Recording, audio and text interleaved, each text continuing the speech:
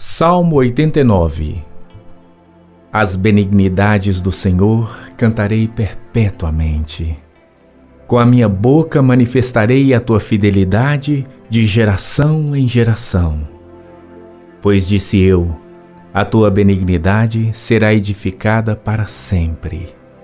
Tu confirmarás a tua fidelidade até nos céus, dizendo: Fiz uma aliança com o meu escolhido e jurei ao meu servo Davi, dizendo: A tua semente estabelecerei para sempre, e edificarei o teu trono de geração em geração.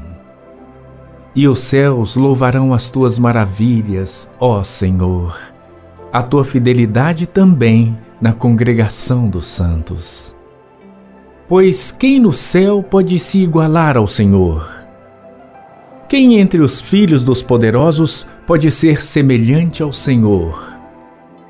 Deus é muito formidável na Assembleia dos Santos e para ser reverenciado por todos os que o cercam. Ó Senhor, Deus dos exércitos, quem é poderoso como tu, Senhor, com a tua fidelidade ao redor de ti? Tu dominas o ímpeto do mar quando as suas ondas se levantam, tu as fazes aquietar. Tu quebraste a Raabe como se fora ferida de morte.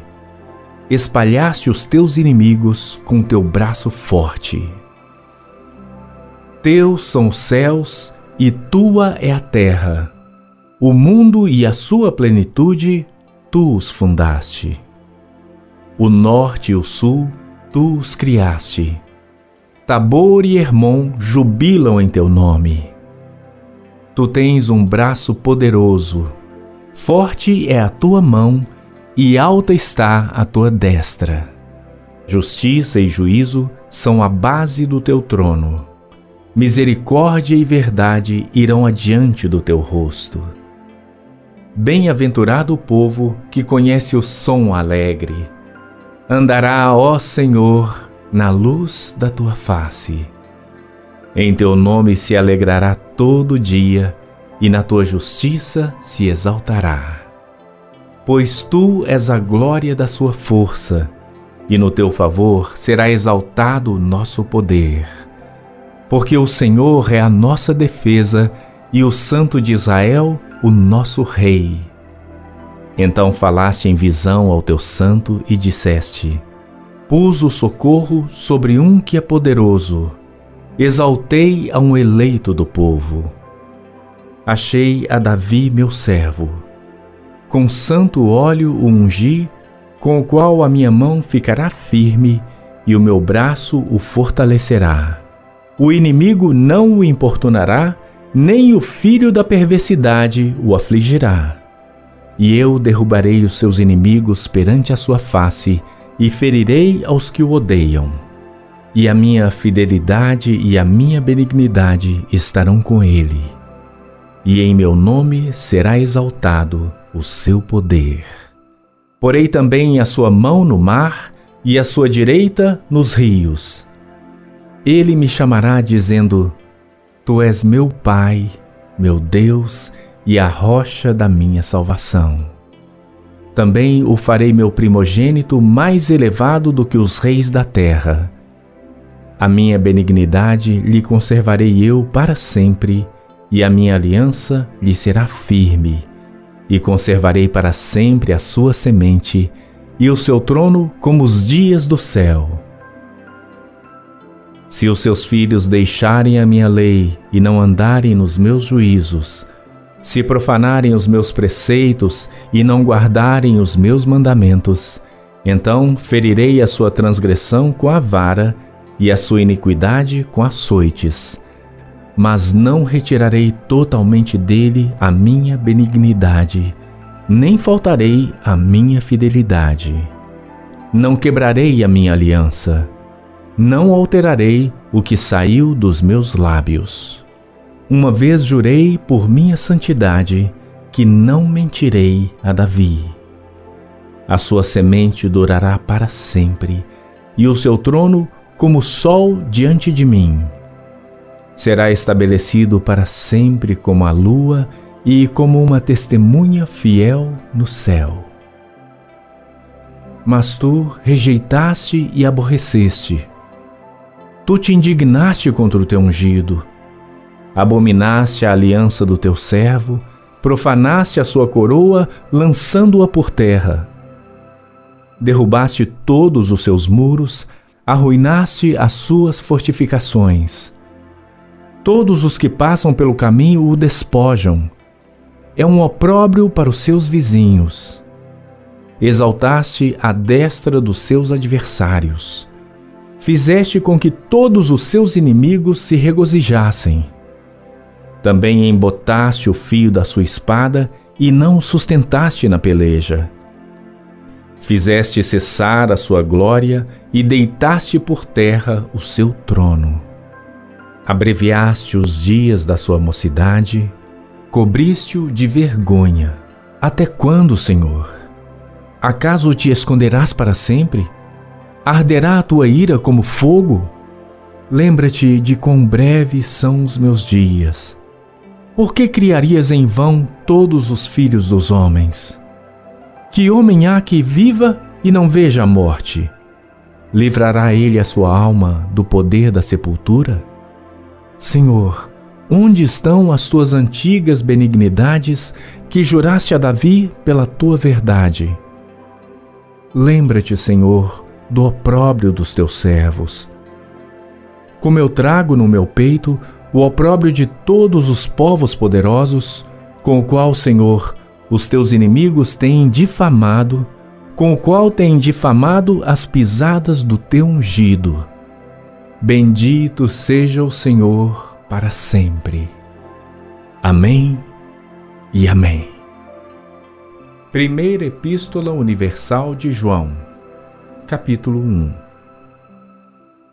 O que era desde o princípio, o que ouvimos, o que vimos com os nossos olhos, o que temos contemplado e as nossas mãos tocaram da palavra da vida, porque a vida foi manifestada e nós a vimos e testificamos dela e vos anunciamos a vida eterna, que estava com o Pai e nos foi manifestada. O que vimos e ouvimos, isso vos anunciamos, para que também tenhais comunhão conosco. E a nossa comunhão é com o Pai e com seu Filho Jesus Cristo. Estas coisas vos escrevemos para que o vosso gozo se cumpra. E esta é a mensagem que dele ouvimos e vos anunciamos: que Deus é luz e não há nele trevas nenhumas. Se dissermos que temos comunhão com ele e andarmos em trevas, mentimos e não praticamos a verdade. Mas, se andarmos na luz, como ele na luz está, temos comunhão uns com os outros e o sangue de Jesus Cristo, seu Filho, nos purifica de todo pecado. Se dissermos que não temos pecado, enganamo-nos a nós mesmos e não há verdade em nós.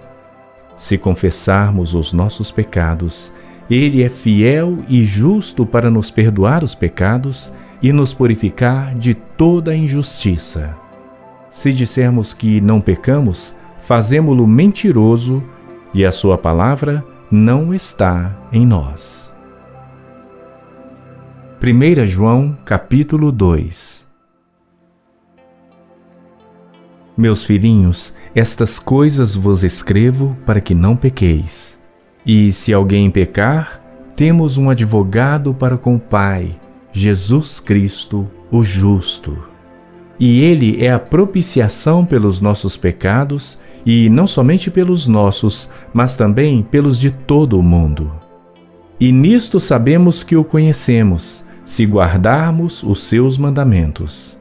Aquele que diz, Eu o conheço, e não guarda os seus mandamentos, é mentiroso e nele não está a verdade. Mas qualquer que guarda a sua palavra, o amor de Deus está nele verdadeiramente aperfeiçoado. Nisto conhecemos que estamos nele. Aquele que diz que está nele também deve andar como ele andou. Irmãos, não vos escrevo o mandamento novo, mas o mandamento antigo que desde o princípio tivestes. Este mandamento antigo é a palavra que desde o princípio ouvistes. Outra vez vos escrevo um mandamento novo, que é verdadeiro nele e em vós, porque vão passando as trevas e já a verdadeira luz ilumina. Aquele que diz que está na luz e odeia seu irmão, até agora está em trevas. Aquele que ama seu irmão está na luz e nele não há escândalo. Mas aquele que odeia seu irmão está em trevas e anda em trevas e não sabe para onde deva ir, porque as trevas lhe cegaram os olhos. Filhinhos, escrevo-vos porque pelo seu nome vos são perdoados os pecados. Pais, escrevo-vos porque conhecestes aquele que é desde o princípio. Jovens, escrevo-vos porque vencestes o maligno. Eu vos escrevo, filhos, porque conhecestes o Pai. Eu vos escrevi, pais, porque já conhecestes aquele que é desde o princípio. Eu vos escrevi, jovens, porque sois fortes e a palavra de Deus está em vós e já vencestes o maligno. Não ameis o mundo, nem o que no mundo há. Se alguém ama o mundo, o amor do Pai não está nele. Porque tudo o que há no mundo, a concupiscência da carne, a concupiscência dos olhos e a soberba da vida, não é do Pai, mas do mundo e o mundo passa e a sua concupiscência, mas aquele que faz a vontade de Deus permanece para sempre. Filhinhos, é já a última hora. E como ouvistes que vem o Anticristo, também agora muitos se têm feito anticristos, por onde conhecemos que é já a última hora. Saíram de nós, mas não eram de nós porque se fossem de nós, ficariam conosco. Mas isto é para que se manifestasse que não são todos de nós. E vós tendes a unção do Santo e sabeis todas as coisas. Não vos escrevi porque não soubesseis a verdade, mas porque a sabeis e porque nenhuma mentira é da verdade. Quem é o mentiroso senão aquele que nega que Jesus é o Cristo? é o Anticristo, esse mesmo que nega o Pai e o Filho. Qualquer que nega o Filho também não tem o Pai. Mas aquele que confessa o Filho tem também o Pai. Portanto, o que desde o princípio ouvistes, permaneça em vós. Se em vós permanecer o que desde o princípio ouvistes, também permanecereis no Filho e no Pai. E esta é a promessa que ele nos fez, a vida eterna. Estas coisas vos escrevi acerca dos que vos enganam. E a unção que vós recebestes dele fica em vós, e não tendes necessidade de que alguém vos ensine. Mas como a sua unção vos ensina todas as coisas, e é verdadeira e não é mentira, como ela vos ensinou, assim nele permanecereis. E agora, filhinhos, permanecei nele, para que, quando ele se manifestar, tenhamos confiança e não sejamos confundidos por ele na sua vinda. Se sabeis que ele é justo, sabeis que todo aquele que pratica justiça é nascido dele. Segunda Epístola do Apóstolo Paulo aos Coríntios. Capítulo 1 Paulo, apóstolo de Jesus Cristo pela vontade de Deus, e o irmão Timóteo, a Igreja de Deus que está em Corinto, com todos os santos que estão em toda a Acaia. Graça a vós e paz da parte de Deus nosso Pai e da do Senhor Jesus Cristo. Bendito seja o Deus e Pai de nosso Senhor Jesus Cristo o Pai das misericórdias e o Deus de toda a consolação, que nos consola em toda a nossa tribulação, para que também possamos consolar os que estiverem em alguma tribulação, com a consolação com que nós mesmos somos consolados por Deus. Porque, como as aflições de Cristo são abundantes em nós, assim também é abundante a nossa consolação por meio de Cristo. Mas, se somos atribulados, é para vossa consolação e salvação, ou se somos consolados, para vossa consolação e salvação é, a qual se opera suportando com paciência as mesmas aflições que nós também padecemos.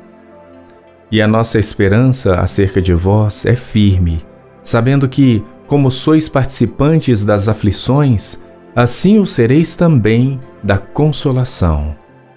Porque não queremos, irmãos, que ignoreis a nossa tribulação que nos sobreveio na Ásia, pois que fomos sobremaneira agravados mais do que podíamos suportar, de modo tal que até da vida desesperamos. Mas já em nós mesmos tínhamos a sentença de morte, para que não confiássemos em nós, mas em Deus que ressuscita os mortos, o qual nos livrou de tão grande morte e livra, em quem esperamos que também nos livrará ainda ajudando-nos também vós com orações por nós, para que, pelo benefício que por muitas pessoas nos foi feita, por muitas também sejam dadas graças a nosso respeito. Porque a nossa glória é esta: o testemunho da nossa consciência de que, com simplicidade e sinceridade de Deus, não com sabedoria carnal, mas na graça de Deus, temos vivido no mundo e de modo particular convosco. Porque nenhumas outras coisas vos escrevemos, senão as que já sabeis ou também reconheceis. E espero que também até ao fim as reconhecereis. Como também já em parte reconhecestes em nós, que somos a vossa glória, como também vós sereis a nossa no dia do Senhor Jesus. E com esta confiança quis primeiro ir ter convosco, para que tivesseis uma segunda graça. E por vós passar a Macedônia, e da Macedônia ir outra vez ter convosco, e ser guiado por vós a Judéia. E deliberando isto, usei porventura de leviandade? Ou o que delibero, o delibero segundo a carne, para que haja em mim sim, sim e não, não? Antes, como Deus é fiel, a nossa palavra para convosco não foi sim e não. Porque o Filho de Deus, Jesus Cristo, que entre vós foi pregado por nós, isto é, por mim, Silvano e Timóteo, não foi sim e não, mas nele houve sim. Porque todas quantas promessas há de Deus são nele sim e por ele o Amém para a glória de Deus por nós. Mas o que nos confirma convosco em Cristo e o que nos ungiu é Deus, o qual também nos selou e deu o penhor do Espírito em nossos corações. Invoco, porém, a Deus por testemunha sobre a minha alma, que para vos poupar não tem até agora ido a Corinto. Não que tenhamos domínio sobre a vossa fé, mas porque somos cooperadores de vosso gozo, porque pela fé estais em pé. Hebreus capítulo 6 Por isso, deixando os rudimentos da doutrina de Cristo, prossigamos até a perfeição, não lançando de novo o fundamento do arrependimento de obras mortas e de fé em Deus, e da doutrina dos batismos e da imposição das mãos, e da ressurreição dos mortos e do juízo eterno. E isto faremos se Deus o permitir. Porque é impossível que os que já uma vez foram iluminados e provaram o dom celestial e se tornaram participantes do Espírito Santo e provaram a boa palavra de Deus e os poderes do século futuro e recaíram, sejam outra vez renovados para arrependimento, pois assim quanto a eles, de novo crucificam o Filho de Deus e o expõem ao vitupério. Porque a terra que embebe a chuva, que muitas vezes cai sobre ela, e produz erva proveitosa para aqueles por quem é lavrada, recebe a bênção de Deus. Mas a que produz espinhos e abrolhos é reprovada e perto está da maldição. O seu fim é ser queimada. Mas de vós, ó amados, esperamos coisas melhores e coisas que acompanham a salvação, ainda que assim falamos.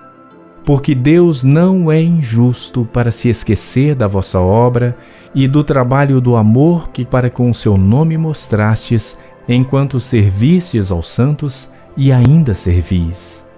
Mas desejamos que cada um de vós mostre o mesmo cuidado para completa certeza da esperança até o fim para que vos não façais negligentes, mas sejam imitadores dos que, pela fé e paciência, herdam as promessas. Porque quando Deus fez a promessa a Abraão, como não tinha outro maior por quem jurasse, jurou por si mesmo, dizendo: Certamente abençoando te abençoarei, e multiplicando te multiplicarei. E assim, esperando com paciência, alcançou a promessa. Porque os homens certamente juram por alguém superior a eles, e o juramento para confirmação é para eles o fim de toda contenda. Por isso, querendo Deus mostrar mais abundantemente a imutabilidade do seu conselho aos herdeiros da promessa, se interpôs com juramento para que, por duas coisas imutáveis, nas quais é impossível que Deus minta, tenhamos a firme consolação, nós, os que pomos o nosso refúgio em reter a esperança proposta, a qual temos como âncora da alma, segura e firme e que penetra até ao interior do véu, onde Jesus, nosso precursor, entrou por nós, feito eternamente sumo sacerdote, segundo a ordem de Melquisedeque. Isaías capítulo 26 Naquele dia se entoará este cântico na terra de Judá.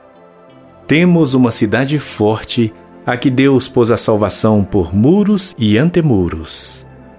Abri as portas para que entre nelas a nação justa que observa a verdade. Tu conservarás em paz aquele cuja mente está firme em ti, porque ele confia em ti. Confiai no Senhor perpetuamente, porque o Senhor Deus é uma rocha eterna porque ele abate os que habitam no alto, na cidade elevada. Humilha, humilha até ao chão, e derruba até o pó. O pé pisará os pés dos aflitos e os passos dos pobres. O caminho do justo é todo plano. Tu retamente pesas o andar do justo também no caminho dos teus juízos, Senhor, te esperamos. No teu nome e na tua memória está o desejo da nossa alma. Com minha alma te desejei de noite, e com meu espírito que está dentro de mim, madrugarei a buscar-te. Porque, havendo os teus juízos na terra, os moradores do mundo aprendem justiça. Ainda que se mostre favor ao ímpio, nem por isso aprende a justiça. Até na terra da retidão ele pratica iniquidade e não atenta para a majestade do Senhor. Senhor, a tua mão está exaltada, mas nem por isso a veem. Vê-la-ão, porém, e confundir-se-ão por causa do zelo que tens do teu povo, e o fogo consumirá os teus adversários. Senhor, tu nos darás a paz, porque tu és o que fizeste em nós todas as nossas obras.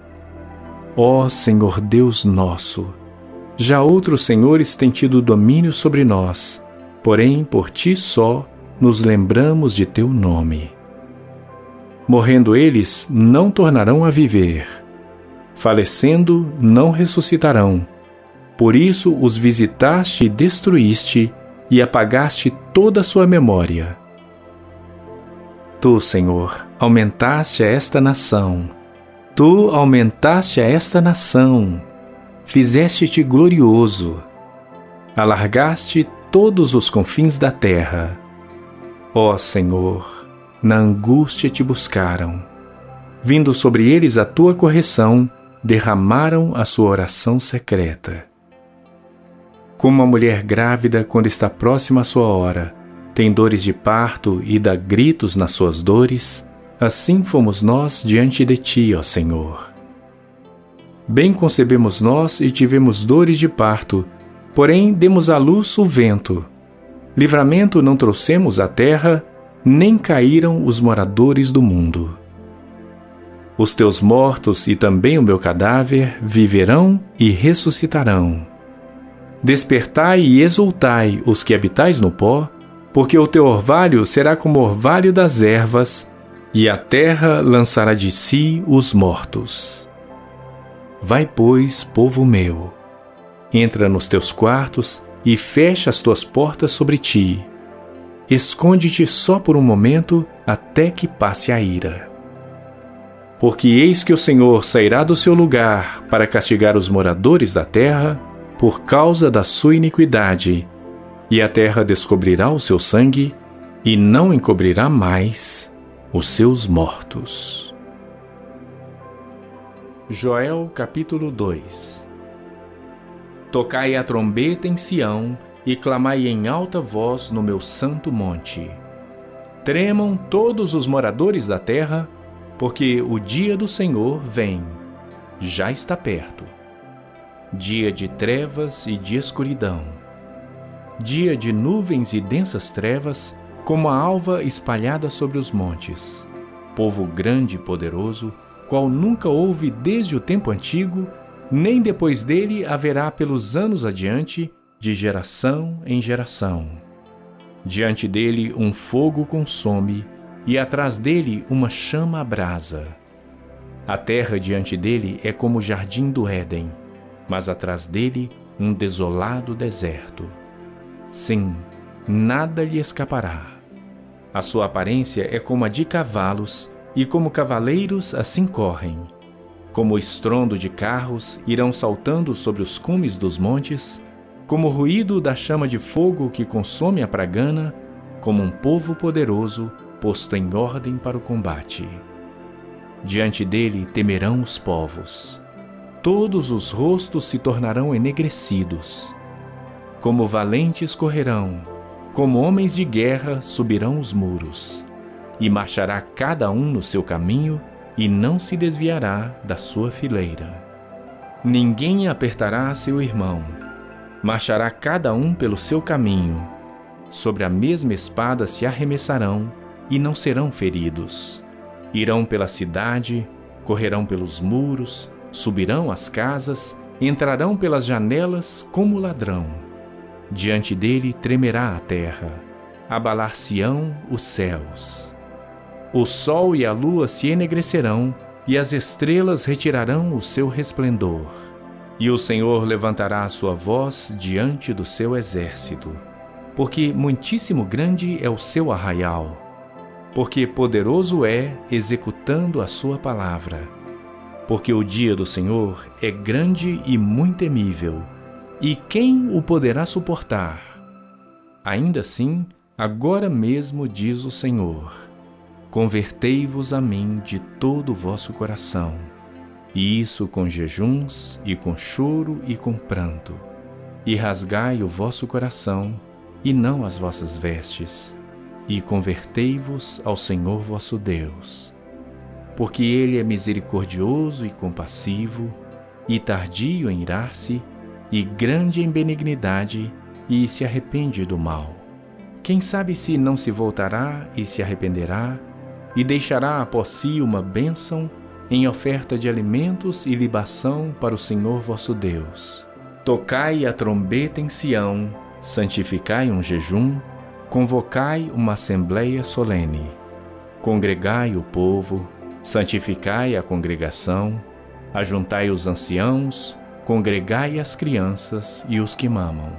Saia o noivo da sua recâmara e a noiva do seu aposento Chorem os sacerdotes ministros do Senhor entre o alpendre e o altar e digam: Poupa teu povo, ó Senhor, e não entregues a tua herança ao opróbrio, para que os gentios o dominem.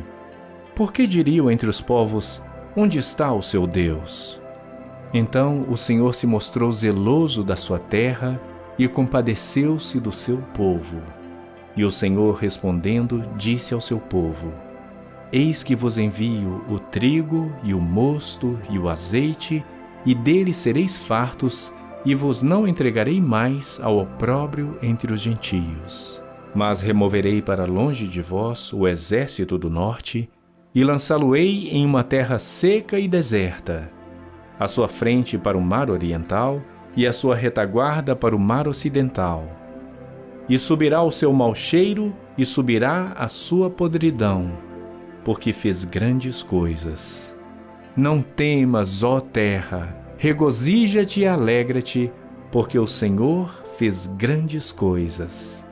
Não temais, animais do campo, porque os pastos do deserto reverdecerão, porque o arvoredo dará o seu fruto, a vide e a figueira darão a sua força. E vós, filhos de Sião, regozijai-vos e alegrai-vos no Senhor vosso Deus, porque ele vos dará em justa medida a chuva temporã fará descer a chuva no primeiro mês, a temporã e a serôdia. E as eiras se encherão de trigo, e os lagares transbordarão de mosto e de azeite. E restituir-vos-ei os anos que comeu o gafanhoto, a locusta e o pulgão e a lagarta, o meu grande exército que enviei contra vós. E comereis abundantemente e vos fartareis, e louvareis o nome do Senhor vosso Deus, que procedeu para convosco maravilhosamente, e o meu povo nunca mais será envergonhado. E vós sabereis que estou no meio de Israel, e que eu sou o Senhor vosso Deus, e que não há outro. E o meu povo nunca mais será envergonhado.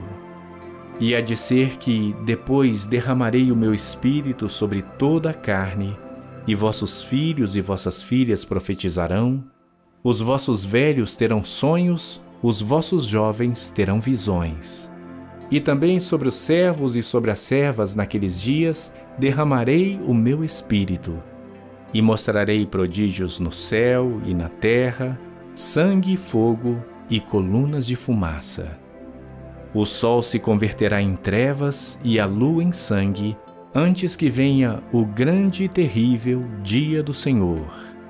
E há de ser que todo aquele que invocar o nome do Senhor será salvo.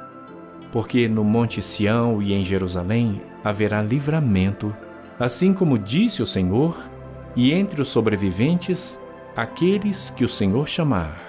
Salmo 91 Aquele que habita no esconderijo do Altíssimo, à sombra do Onipotente descansará.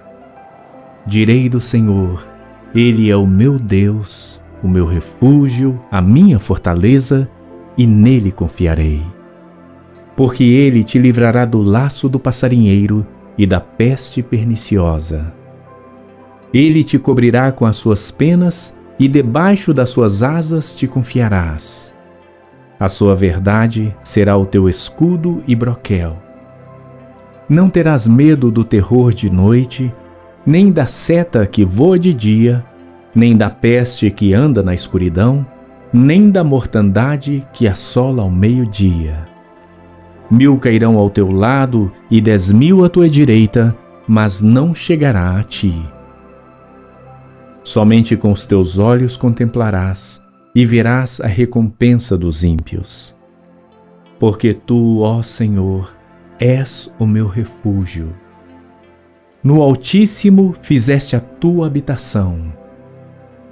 Nenhum mal te sucederá, nem praga alguma chegará à tua tenda, porque aos seus anjos dará ordem a teu respeito, para te guardarem em todos os teus caminhos. Eles te sustentarão nas suas mãos, para que não tropeces com o teu pé em pedra alguma. Pisarás sobre o leão e a cobra calcarás aos pés o leão jovem e a serpente. Porquanto tão encarecidamente me amou, também eu o livrarei. Poloei em alto retiro, porque conheceu o meu nome. Ele me invocará e eu lhe responderei. Estarei com ele na angústia, dela o retirarei e o glorificarei.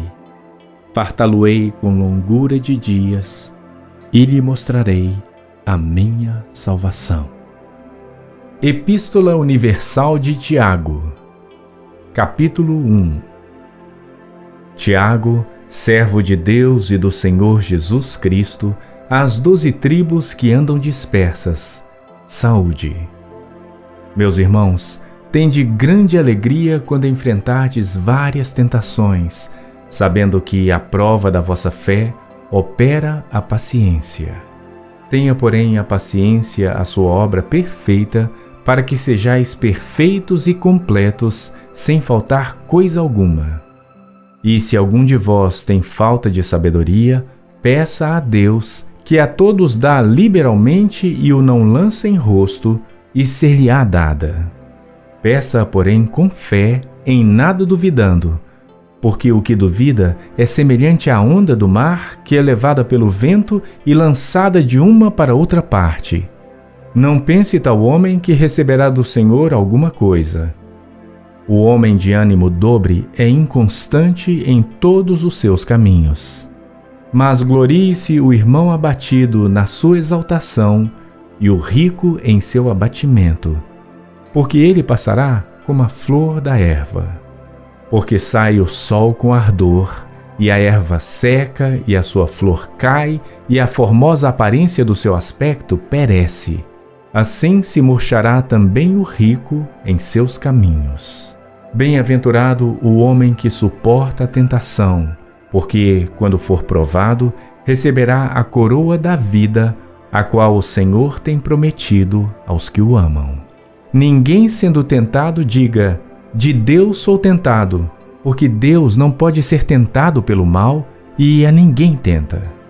Mas cada um é tentado quando atraído e engodado pela sua própria concupiscência. Depois, havendo a concupiscência concebido, dá à luz o pecado, e o pecado, sendo consumado, gera a morte. Não erreis, meus amados irmãos. Toda boa dádiva e todo dom perfeito vem lá do alto, descendo do Pai das luzes, em quem não há mudança nem sombra de variação. Segundo a sua vontade, ele nos gerou pela palavra da verdade, para que fôssemos como primícias das suas criaturas. Portanto, meus amados irmãos, todo homem seja pronto para ouvir, tardio para falar, tardio para se irar porque a ira do homem não opera a justiça de Deus. Por isso, rejeitando toda a imundícia e superfluidade de malícia, recebei com mansidão a palavra em vós enxertada, a qual pode salvar as vossas almas. E sede cumpridores da palavra, e não somente ouvintes, enganando-vos a vós mesmos. Porque se alguém é ouvinte da palavra e não cumpridor, é semelhante ao homem que contempla ao espelho o seu rosto natural, porque se contempla a si mesmo e vai-se, e logo se esquece de como era. Aquele, porém, que atenta bem para a lei perfeita da liberdade e nisso persevera, não sendo ouvinte esquecidiço, mas fazedor da obra, este tal será bem-aventurado no seu feito. Se alguém entre vós cuida ser religioso e não refreia a sua língua, antes engana o seu coração, a religião desse é vã. A religião pura e imaculada para com Deus e Pai é esta: visitar os órfãos e as viúvas nas suas tribulações e guardar-se incontaminado do mundo. 1 Coríntios capítulo 7 Ora, quanto às coisas que me escrevestes, bom seria que o homem não tocasse em mulher, mas por causa da fornicação, cada um tem a sua própria mulher e cada uma tem o seu próprio marido. O marido pague à mulher a devida benevolência e da mesma sorte a mulher ao marido. A mulher não tem poder sobre o seu próprio corpo, mas tem-no o marido. E também, da mesma maneira, o marido não tem poder sobre o seu próprio corpo, mas tem-no a mulher. Não vos priveis um ao outro, senão por consentimento mútuo por algum tempo, para vos aplicardes ao jejum e à oração. E depois ajuntai-vos outra vez para que Satanás não vos tente pela vossa intemperança. Digo, porém, isto como que por permissão e não por mandamento, porque quereria que todos os homens fossem como eu mesmo. Mas cada um tem de Deus o seu próprio dom, um de uma maneira e outro de outra. Digo, porém, aos solteiros e às viúvas que lhes é bom se ficarem como eu mas se não podem conter-se, casem-se, porque é melhor casar do que arder. Todavia, aos casados mando não eu, mas o Senhor, que a mulher não se aparte do marido. Se, porém, se apartar, que fique sem casar ou que se reconcilie com o marido, e que o marido não deixe a mulher. Mas aos outros digo eu, não Senhor se algum irmão tem mulher descrente e ela consente em habitar com ele, não a deixe. E se alguma mulher tem marido descrente e ele consente em habitar com ela, não o deixe. Porque o marido descrente é santificado pela mulher, e a mulher descrente é santificada pelo marido. De outra sorte, os vossos filhos seriam imundos, mas agora são santos. Mas se o descrente se apartar, aparte-se. Porque neste caso o irmão ou irmã não está sujeito à servidão, mas Deus chamou-nos para a paz. Porque de onde sabes, ó mulher, se salvarás teu marido? Ou de onde sabes, ó marido, se salvarás tua mulher? E assim cada um ande como Deus lhe repartiu, cada um como o Senhor o chamou. É o que ordeno em todas as igrejas. É alguém chamado estando circuncidado? Não se faça incircunciso. É alguém chamado estando na incircuncisão? Não se circuncide. A circuncisão é nada e a incircuncisão nada é, mas sim a observância dos mandamentos de Deus. Cada um fique na vocação em que foi chamado. Foste chamado sendo servo, não te dê cuidado. E se ainda pode ser livre, aproveita a ocasião. Porque o que é chamado pelo Senhor sendo servo é liberto do Senhor. E da mesma maneira também, o que é chamado sendo livre, servo é de Cristo. Fostes comprados por bom preço. Não vos façais servos dos homens. Irmãos, cada um fique diante de Deus no estado em que foi chamado. Ora, quanto às virgens, não tenho mandamento do Senhor. Dou, porém, o meu parecer como quem tem alcançado a misericórdia do Senhor para ser fiel. Tenho, pois, por bom, por causa da instante necessidade, que é bom para o homem o estar assim. Estás ligado à mulher? não busques separar-te. Estás livre de mulher? Não busques mulher. Mas se te casares, não pecas.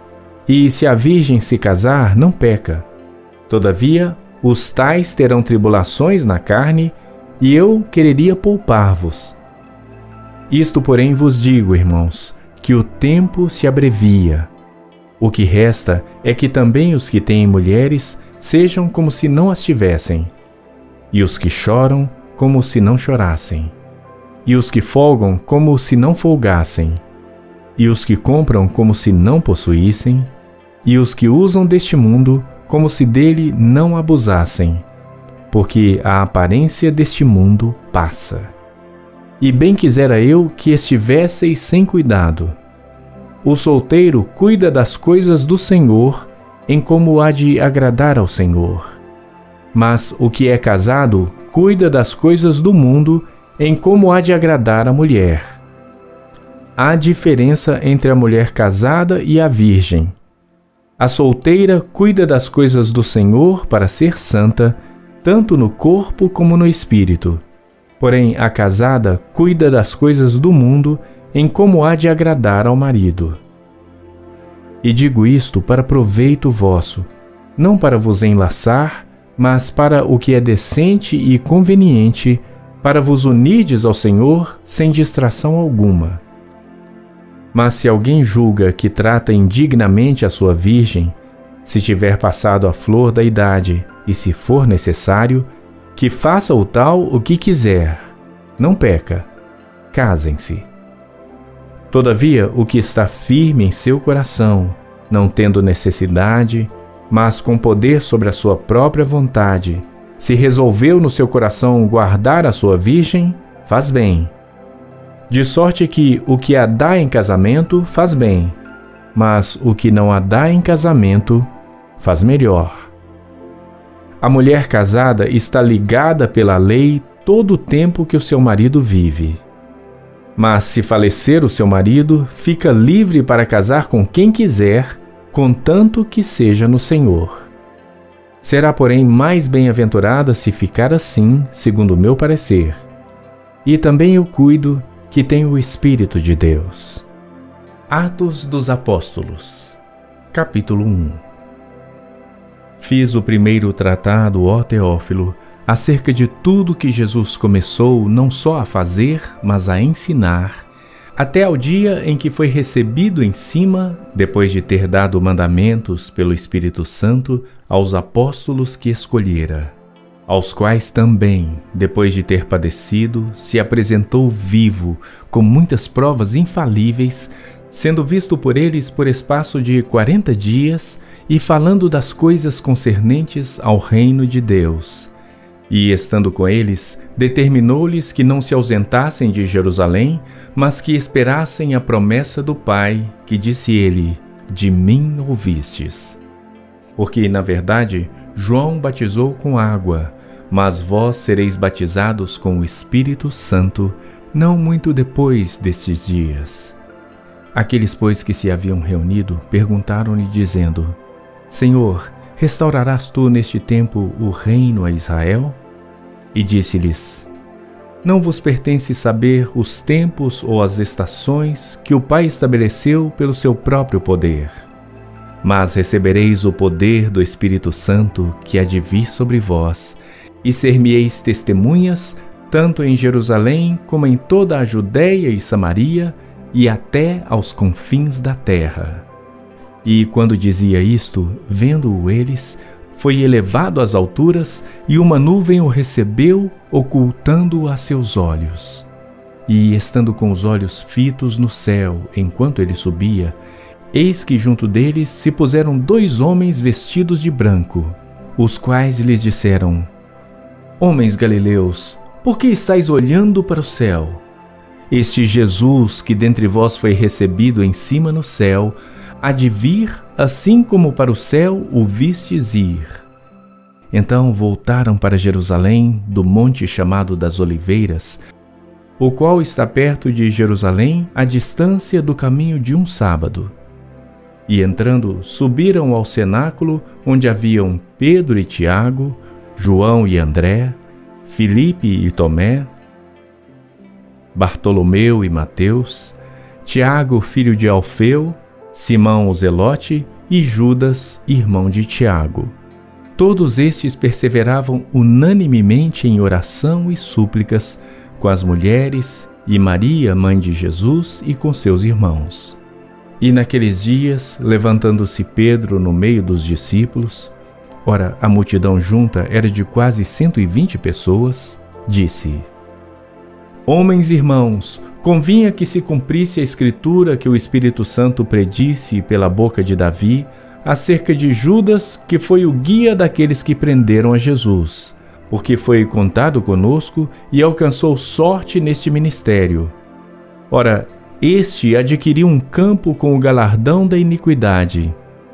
E, precipitando-se, rebentou pelo meio, e todas as suas entranhas se derramaram. E foi notório a todos os que habitam em Jerusalém. de maneira que, na sua própria língua, esse campo se chama Aceldama, isto é, campo de sangue. Porque no livro dos Salmos está escrito: Fique deserta a sua habitação, e não haja quem nela habite, e tome outro o seu bispado. É necessário, pois, que dos homens que conviveram conosco todo o tempo em que o Senhor Jesus entrou e saiu dentre nós, começando desde o batismo de João até o dia em que de entre nós foi recebido em cima, um deles se faça conosco testemunha da sua ressurreição. E apresentaram dois: José, chamado Barsabás, que tinha por sobrenome o Justo, e Matias. E orando disseram: Tu, Senhor, conhecedor dos corações de todos, mostra qual destes dois tens escolhido para que tome parte neste ministério e apostolado de que Judas se desviou para ir para o seu próprio lugar. E, lançando-lhe sorte, caiu a sorte sobre Matias, e, por voto comum, foi contado com os onze apóstolos. Filipenses capítulo 4 Portanto, meus amados e muito queridos irmãos, minha alegria e coroa, estai assim firmes no Senhor, amados. Rogo a Evódia e rogo a Sintique que sintam o mesmo no Senhor. E peço-te também a ti, meu verdadeiro companheiro, que ajudes essas mulheres que trabalharam comigo no Evangelho e com Clemente e com todos os meus outros cooperadores, cujos nomes estão no livro da vida. Regozijai-vos sempre no Senhor. Outra vez digo, regozijai-vos. Seja a vossa equidade notória a todos os homens. Perto está o Senhor. Não estejais inquietos por coisa alguma. Antes as vossas petições sejam em tudo conhecidas diante de Deus, pela oração e súplica, com ações de graças. E a paz de Deus, que excede todo entendimento, guardará os vossos corações e os vossos pensamentos em Cristo Jesus. Quanto ao mais, irmãos, tudo que é verdadeiro, tudo que é honesto, tudo que é justo, tudo que é puro, tudo que é amável, tudo que é de boa fama, se há alguma virtude e se há algum louvor, nisso pensai o que também aprendestes e recebestes, e ouvistes e vistes em mim, isso fazei, e o Deus de paz será convosco. Ora, muito me regozijei no Senhor por finalmente reviver a vossa lembrança de mim. Pois já vos tinhais lembrado, mas não tinhais tido oportunidade. Não digo isto como por necessidade, porque já aprendi a contentar-me com o que tenho. Sei estar abatido e sei também ter abundância. Em toda maneira e em todas as coisas estou instruído, tanto a ter fartura como a ter fome, tanto a ter abundância como a padecer necessidade. Posso todas as coisas em Cristo que me fortalece. Todavia fizestes bem em tomar parte na minha aflição. E bem sabeis também, ó Filipenses, que no princípio do Evangelho, quando parti da Macedônia, nenhuma igreja comunicou comigo com respeito a dar e a receber, senão vós somente. Porque também uma e outra vez me mandastes o necessário a Tessalônica. Não que procure dádivas, mas procuro o fruto que cresça para a vossa conta. Mas bastante tenho recebido e tenho abundância. Cheio estou, depois que recebi de Epafrodito o que da vossa parte me foi enviado, como cheiro de suavidade e sacrifício agradável e aprazível a Deus. O meu Deus, porém, segundo as suas riquezas, suprirá todas as vossas necessidades em glória, por Cristo Jesus. Ora, a nosso Deus e Pai seja dada glória para todo sempre. Amém. Saudai a todos os santos em Cristo Jesus. Os irmãos que estão comigo vos saúdam. Todos os santos vos saúdam, mas principalmente os que são da casa de César. A graça de nosso Senhor Jesus Cristo seja com vós todos. Amém. Salmo 89 As benignidades do Senhor cantarei perpetuamente. Com a minha boca manifestarei a tua fidelidade de geração em geração. Pois disse eu: a tua benignidade será edificada para sempre. Tu confirmarás a tua fidelidade até nos céus, dizendo: Fiz uma aliança com o meu escolhido, e jurei ao meu servo Davi, dizendo: A tua semente estabelecerei para sempre e edificarei o teu trono de geração em geração. E os céus louvarão as tuas maravilhas, ó Senhor, a tua fidelidade também na congregação dos santos. Pois quem no céu pode se igualar ao Senhor? Quem entre os filhos dos poderosos pode ser semelhante ao Senhor? Deus é muito formidável na Assembleia dos Santos e para ser reverenciado por todos os que o cercam. Ó Senhor, Deus dos exércitos, quem é poderoso como tu, Senhor, com a tua fidelidade ao redor de ti? Tu dominas o ímpeto do mar. Quando as suas ondas se levantam, tu as fazes aquietar. Tu quebraste a Raabe como se fora ferida de morte. Espalhaste os teus inimigos com teu braço forte. Teus são os céus e tua é a terra. O mundo e a sua plenitude tu os fundaste. O norte e o sul tu os criaste. Tabor e Hermon jubilam em teu nome. Tu tens um braço poderoso, forte é a tua mão e alta está a tua destra. Justiça e juízo são a base do teu trono. Misericórdia e verdade irão adiante do teu rosto. Bem-aventurado o povo que conhece o som alegre. Andará, ó Senhor, na luz da tua face. Em teu nome se alegrará todo dia, e na tua justiça se exaltará. Pois tu és a glória da sua força, e no teu favor será exaltado o nosso poder. Porque o Senhor é a nossa defesa e o Santo de Israel, o nosso Rei. Então falaste em visão ao teu santo e disseste: Pus o socorro sobre um que é poderoso exaltei a um eleito do povo. Achei a Davi, meu servo. Com santo óleo o ungi, com o qual a minha mão ficará firme e o meu braço o fortalecerá. O inimigo não o importunará, nem o filho da perversidade o afligirá. E eu derrubarei os seus inimigos perante a sua face e ferirei aos que o odeiam e a minha fidelidade e a minha benignidade estarão com ele, e em meu nome será exaltado o seu poder. Porei também a sua mão no mar e a sua direita nos rios.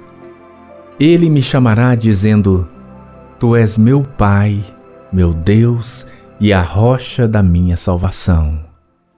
Também o farei meu primogênito mais elevado do que os reis da terra a minha benignidade lhe conservarei eu para sempre, e a minha aliança lhe será firme, e conservarei para sempre a sua semente e o seu trono como os dias do céu. Se os seus filhos deixarem a minha lei e não andarem nos meus juízos, se profanarem os meus preceitos e não guardarem os meus mandamentos, então ferirei a sua transgressão com a vara e a sua iniquidade com açoites. Mas não retirarei totalmente dele a minha benignidade, nem faltarei a minha fidelidade. Não quebrarei a minha aliança, não alterarei o que saiu dos meus lábios. Uma vez jurei por minha santidade que não mentirei a Davi. A sua semente durará para sempre, e o seu trono como o sol diante de mim. Será estabelecido para sempre como a lua e como uma testemunha fiel no céu. Mas tu rejeitaste e aborreceste. Tu te indignaste contra o teu ungido. Abominaste a aliança do teu servo, profanaste a sua coroa, lançando-a por terra. Derrubaste todos os seus muros, arruinaste as suas fortificações. Todos os que passam pelo caminho o despojam. É um opróbrio para os seus vizinhos. Exaltaste a destra dos seus adversários. Fizeste com que todos os seus inimigos se regozijassem. Também embotaste o fio da sua espada e não o sustentaste na peleja. Fizeste cessar a sua glória e deitaste por terra o seu trono. Abreviaste os dias da sua mocidade, cobriste-o de vergonha. Até quando, Senhor? Acaso te esconderás para sempre? Arderá a tua ira como fogo? Lembra-te de quão breves são os meus dias. Por que criarias em vão todos os filhos dos homens? Que homem há que viva e não veja a morte? Livrará ele a sua alma do poder da sepultura? Senhor, onde estão as tuas antigas benignidades que juraste a Davi pela tua verdade? Lembra-te, Senhor, do opróbrio dos teus servos. Como eu trago no meu peito o opróbrio de todos os povos poderosos, com o qual, Senhor, os teus inimigos têm difamado, com o qual têm difamado as pisadas do teu ungido. Bendito seja o Senhor para sempre. Amém e Amém. Primeira Epístola Universal de João, capítulo 1 O que era desde o princípio, o que ouvimos, o que vimos com os nossos olhos, o que temos contemplado e as nossas mãos tocaram da palavra da vida, porque a vida foi manifestada e nós a vimos e testificamos dela e vos anunciamos a vida eterna, que estava com o Pai e nos foi manifestada. O que vimos e ouvimos, isso vos anunciamos, para que também tenhais comunhão conosco. E a nossa comunhão é com o Pai e com seu Filho Jesus Cristo. Estas coisas vos escrevemos para que o vosso gozo se cumpra. E esta é a mensagem que dele ouvimos e vos anunciamos: que Deus é luz e não há nele trevas nenhumas. Se dissermos que temos comunhão com ele e andarmos em trevas, mentimos e não praticamos a verdade. Mas, se andarmos na luz, como ele na luz está, temos comunhão uns com os outros e o sangue de Jesus Cristo, seu Filho, nos purifica de todo pecado. Se dissermos que não temos pecado, enganamo-nos a nós mesmos e não há verdade em nós. Se confessarmos os nossos pecados, Ele é fiel e justo para nos perdoar os pecados e nos purificar de toda injustiça. Se dissermos que não pecamos, fazemo-lo mentiroso e a Sua palavra não está em nós. 1 João capítulo 2 Meus filhinhos, estas coisas vos escrevo para que não pequeis. E se alguém pecar, temos um advogado para com o Pai, Jesus Cristo, o justo. E ele é a propiciação pelos nossos pecados e não somente pelos nossos, mas também pelos de todo o mundo. E nisto sabemos que o conhecemos, se guardarmos os seus mandamentos. Aquele que diz, Eu o conheço, e não guarda os seus mandamentos, é mentiroso e nele não está a verdade. Mas qualquer que guarda a sua palavra, o amor de Deus está nele verdadeiramente aperfeiçoado. Nisto conhecemos que estamos nele. Aquele que diz que está nele, também deve andar como ele andou. Irmãos, não vos escrevo o mandamento novo, mas o mandamento antigo que desde o princípio tivestes. Este mandamento antigo é a palavra que desde o princípio ouvistes. Outra vez vos escrevo um mandamento novo, que é verdadeiro nele e em vós, porque vão passando as trevas e já a verdadeira luz ilumina. Aquele que diz que está na luz e odeia seu irmão, até agora está em trevas. Aquele que ama seu irmão está na luz e nele não há escândalo. Mas aquele que odeia seu irmão está em trevas e anda em trevas e não sabe para onde deva ir, porque as trevas lhe cegaram os olhos. Filhinhos, escrevo-vos porque pelo seu nome vos são perdoados os pecados. Pais, escrevo-vos porque conhecestes aquele que é desde o princípio. Jovens, escrevo-vos porque vencestes o maligno. Eu vos escrevo, filhos, porque conhecestes o Pai. Eu vos escrevi, pais, porque já conhecestes aquele que é desde o princípio. Eu vos escrevi, jovens, porque sois fortes e a palavra de Deus está em vós e já vencestes o maligno. Não ameis o mundo, nem o que no mundo há. Se alguém ama o mundo, o amor do Pai não está nele. Porque tudo o que há no mundo, a concupiscência da carne, a concupiscência dos olhos e a soberba da vida, não é do Pai, mas do mundo e o mundo passa e a sua concupiscência, mas aquele que faz a vontade de Deus permanece para sempre. Filhinhos, é já a última hora. E como ouvistes que vem o Anticristo, também agora muitos se têm feito anticristos, por onde conhecemos que é já a última hora. Saíram de nós, mas não eram de nós porque se fossem de nós, ficariam conosco. Mas isto é para que se manifestasse que não são todos de nós. E vós tendes a unção do Santo e sabeis todas as coisas. Não vos escrevi porque não soubesseis a verdade, mas porque a sabeis e porque nenhuma mentira é da verdade. Quem é o mentiroso senão aquele que nega que Jesus é o Cristo? é o Anticristo, esse mesmo que nega o Pai e o Filho. Qualquer que nega o Filho também não tem o Pai. Mas aquele que confessa o Filho tem também o Pai. Portanto, o que desde o princípio ouvistes, permaneça em vós. Se em vós permanecer o que desde o princípio ouvistes, também permanecereis no Filho e no Pai. E esta é a promessa que ele nos fez, a vida eterna. Estas coisas vos escrevi acerca dos que vos enganam. E a unção que vós recebestes dele fica em vós, e não tendes necessidade de que alguém vos ensine. Mas como a sua unção vos ensina todas as coisas, e é verdadeira e não é mentira, como ela vos ensinou, assim nele permanecereis.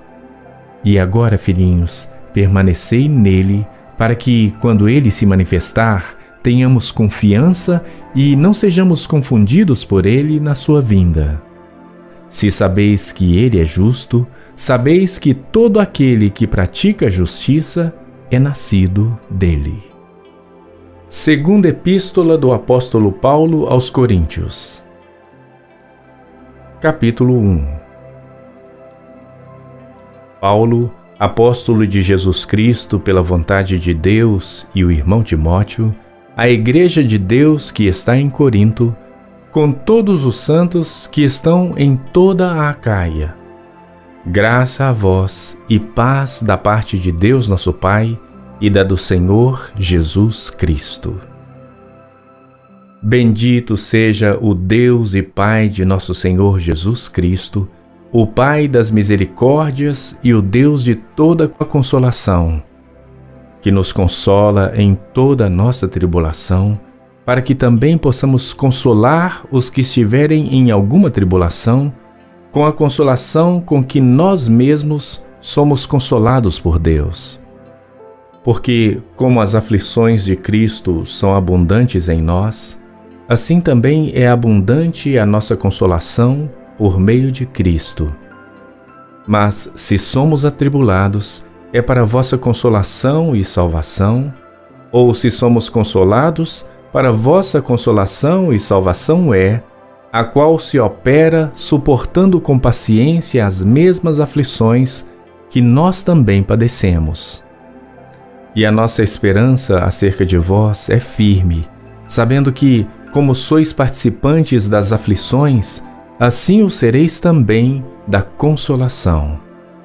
Porque não queremos, irmãos, que ignoreis a nossa tribulação que nos sobreveio na Ásia, pois que fomos sobremaneira agravados mais do que podíamos suportar, de modo tal que até da vida desesperamos.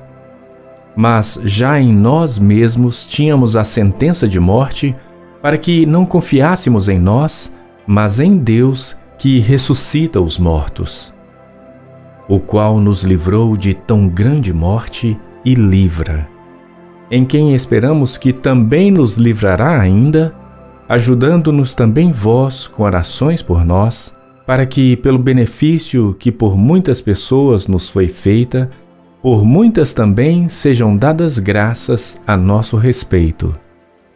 Porque a nossa glória é esta: o testemunho da nossa consciência de que, com simplicidade e sinceridade de Deus, não com sabedoria carnal, mas na graça de Deus, temos vivido no mundo e de modo particular convosco.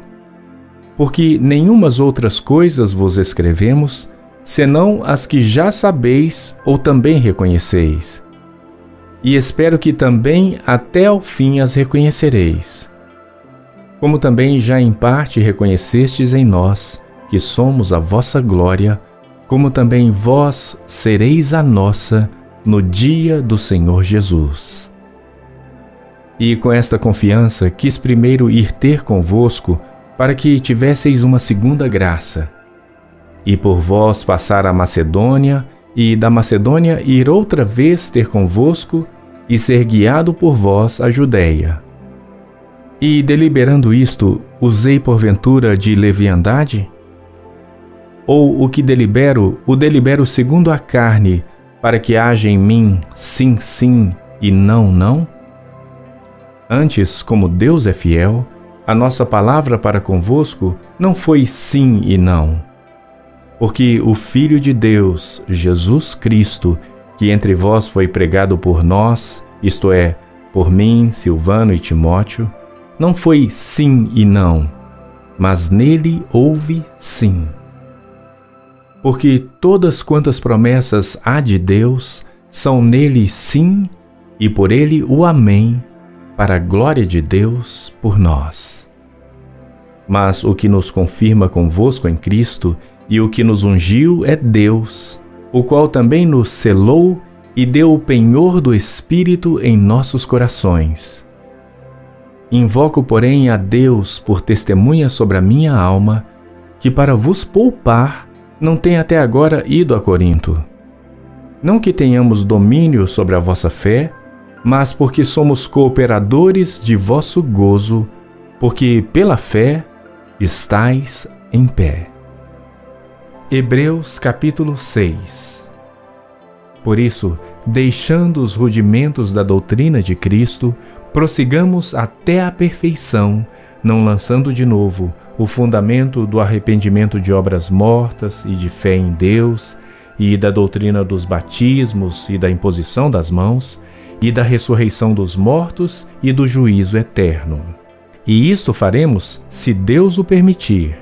Porque é impossível que os que já uma vez foram iluminados e provaram o dom celestial e se tornaram participantes do Espírito Santo e provaram a boa palavra de Deus e os poderes do século futuro e recaíram, sejam outra vez renovados para arrependimento, pois assim quanto a eles, de novo crucificam o Filho de Deus e o expõem ao vitupério. Porque a terra que embebe a chuva, que muitas vezes cai sobre ela, e produz erva proveitosa para aqueles por quem é lavrada, recebe a bênção de Deus. Mas a que produz espinhos e abrolhos é reprovada, e perto está da maldição. O seu fim é ser queimada. Mas de vós, ó amados, esperamos coisas melhores e coisas que acompanham a salvação, ainda que assim falamos. Porque Deus não é injusto para se esquecer da vossa obra e do trabalho do amor que para com o seu nome mostrastes, enquanto servistes aos santos e ainda servis. Mas desejamos que cada um de vós mostre o mesmo cuidado para completa certeza da esperança até o fim para que vos não façais negligentes, mas sejam imitadores dos que pela fé e paciência herdam as promessas. Porque quando Deus fez a promessa a Abraão, como não tinha outro maior por quem jurasse, jurou por si mesmo, dizendo: Certamente abençoando te abençoarei, e multiplicando te multiplicarei. E assim, esperando com paciência, alcançou a promessa. Porque os homens certamente juram por alguém superior a eles, e o juramento para confirmação é para eles o fim de toda a contenda. Por isso, querendo Deus mostrar mais abundantemente a imutabilidade do seu conselho aos herdeiros da promessa, se interpôs com juramento para que, por duas coisas imutáveis, nas quais é impossível que Deus minta, tenhamos a firme consolação, nós, os que pomos o nosso refúgio em reter a esperança proposta, a qual temos como âncora da alma, segura e firme e que penetra até ao interior do véu, onde Jesus, nosso precursor, entrou por nós, feito eternamente sumo sacerdote, segundo a ordem de Melquisedeque. Isaías capítulo 26 Naquele dia se entoará este cântico na terra de Judá. Temos uma cidade forte a que Deus pôs a salvação por muros e antemuros. Abri as portas para que entre nelas a nação justa que observa a verdade. Tu conservarás em paz aquele cuja mente está firme em ti, porque ele confia em ti. Confiai no Senhor perpetuamente, porque o Senhor Deus é uma rocha eterna porque ele abate os que habitam no alto, na cidade elevada. Humilha, humilha até ao chão, e derruba até o pó. O pé pisa lá, os pés dos aflitos e os passos dos pobres. O caminho do justo é todo plano. Tu retamente pesas o andar do justo também no caminho dos teus juízos, Senhor, te esperamos. No teu nome e na tua memória está o desejo da nossa alma. Com minha alma te desejei de noite, e com meu espírito que está dentro de mim, madrugarei a buscar-te. Porque, havendo os teus juízos na terra, os moradores do mundo aprendem justiça. Ainda que se mostre favor ao ímpio, nem por isso aprende a justiça. Até na terra da retidão ele pratica a iniquidade e não atenta para a majestade do Senhor. Senhor, a tua mão está exaltada, mas nem por isso a veem. Vê-la-ão, porém, e confundir-se-ão por causa do zelo que tens do teu povo, e o fogo consumirá os teus adversários. Senhor, tu nos darás a paz porque tu és o que fizeste em nós todas as nossas obras. Ó Senhor Deus nosso, já outros senhores têm tido domínio sobre nós, porém por ti só nos lembramos de teu nome. Morrendo eles, não tornarão a viver. Falecendo, não ressuscitarão. Por isso os visitaste e destruíste, e apagaste toda a sua memória. Tu, Senhor, aumentaste a esta nação. Tu aumentaste a esta nação. Fizeste-te glorioso. Alargaste todos os confins da terra. Ó Senhor, na angústia te buscaram. Vindo sobre eles a tua correção, derramaram a sua oração secreta. Como a mulher grávida, quando está próxima à sua hora, tem dores de parto e dá gritos nas suas dores, assim fomos nós diante de ti, ó Senhor. Bem concebemos nós e tivemos dores de parto, porém demos à luz o vento. Livramento não trouxemos à terra, nem caíram os moradores do mundo. Os teus mortos e também o meu cadáver viverão e ressuscitarão. Despertai e exultai os que habitais no pó, porque o teu orvalho será como orvalho das ervas, e a terra lançará de si os mortos. Vai, pois, povo meu, entra nos teus quartos e fecha as tuas portas sobre ti. Esconde-te só por um momento até que passe a ira. Porque eis que o Senhor sairá do seu lugar para castigar os moradores da terra por causa da sua iniquidade e a terra descobrirá o seu sangue e não encobrirá mais os seus mortos. Joel capítulo 2 Tocai a trombeta em Sião e clamai em alta voz no meu santo monte. Tremam todos os moradores da terra, porque o dia do Senhor vem, já está perto. Dia de trevas e de escuridão dia de nuvens e densas trevas, como a alva espalhada sobre os montes. Povo grande e poderoso, qual nunca houve desde o tempo antigo, nem depois dele haverá pelos anos adiante, de geração em geração. Diante dele um fogo consome, e atrás dele uma chama abrasa. A terra diante dele é como o jardim do Éden, mas atrás dele um desolado deserto. Sim, nada lhe escapará. A sua aparência é como a de cavalos, e como cavaleiros assim correm. Como o estrondo de carros irão saltando sobre os cumes dos montes, como o ruído da chama de fogo que consome a pragana, como um povo poderoso posto em ordem para o combate. Diante dele temerão os povos. Todos os rostos se tornarão enegrecidos como valentes correrão, como homens de guerra subirão os muros, e marchará cada um no seu caminho e não se desviará da sua fileira. Ninguém apertará seu irmão, marchará cada um pelo seu caminho, sobre a mesma espada se arremessarão e não serão feridos. Irão pela cidade, correrão pelos muros, subirão as casas, entrarão pelas janelas como ladrão Diante dele tremerá a terra, abalar-se-ão os céus. O sol e a lua se enegrecerão, e as estrelas retirarão o seu resplendor. E o Senhor levantará a sua voz diante do seu exército, porque muitíssimo grande é o seu arraial, porque poderoso é executando a sua palavra. Porque o dia do Senhor é grande e muito temível e quem o poderá suportar?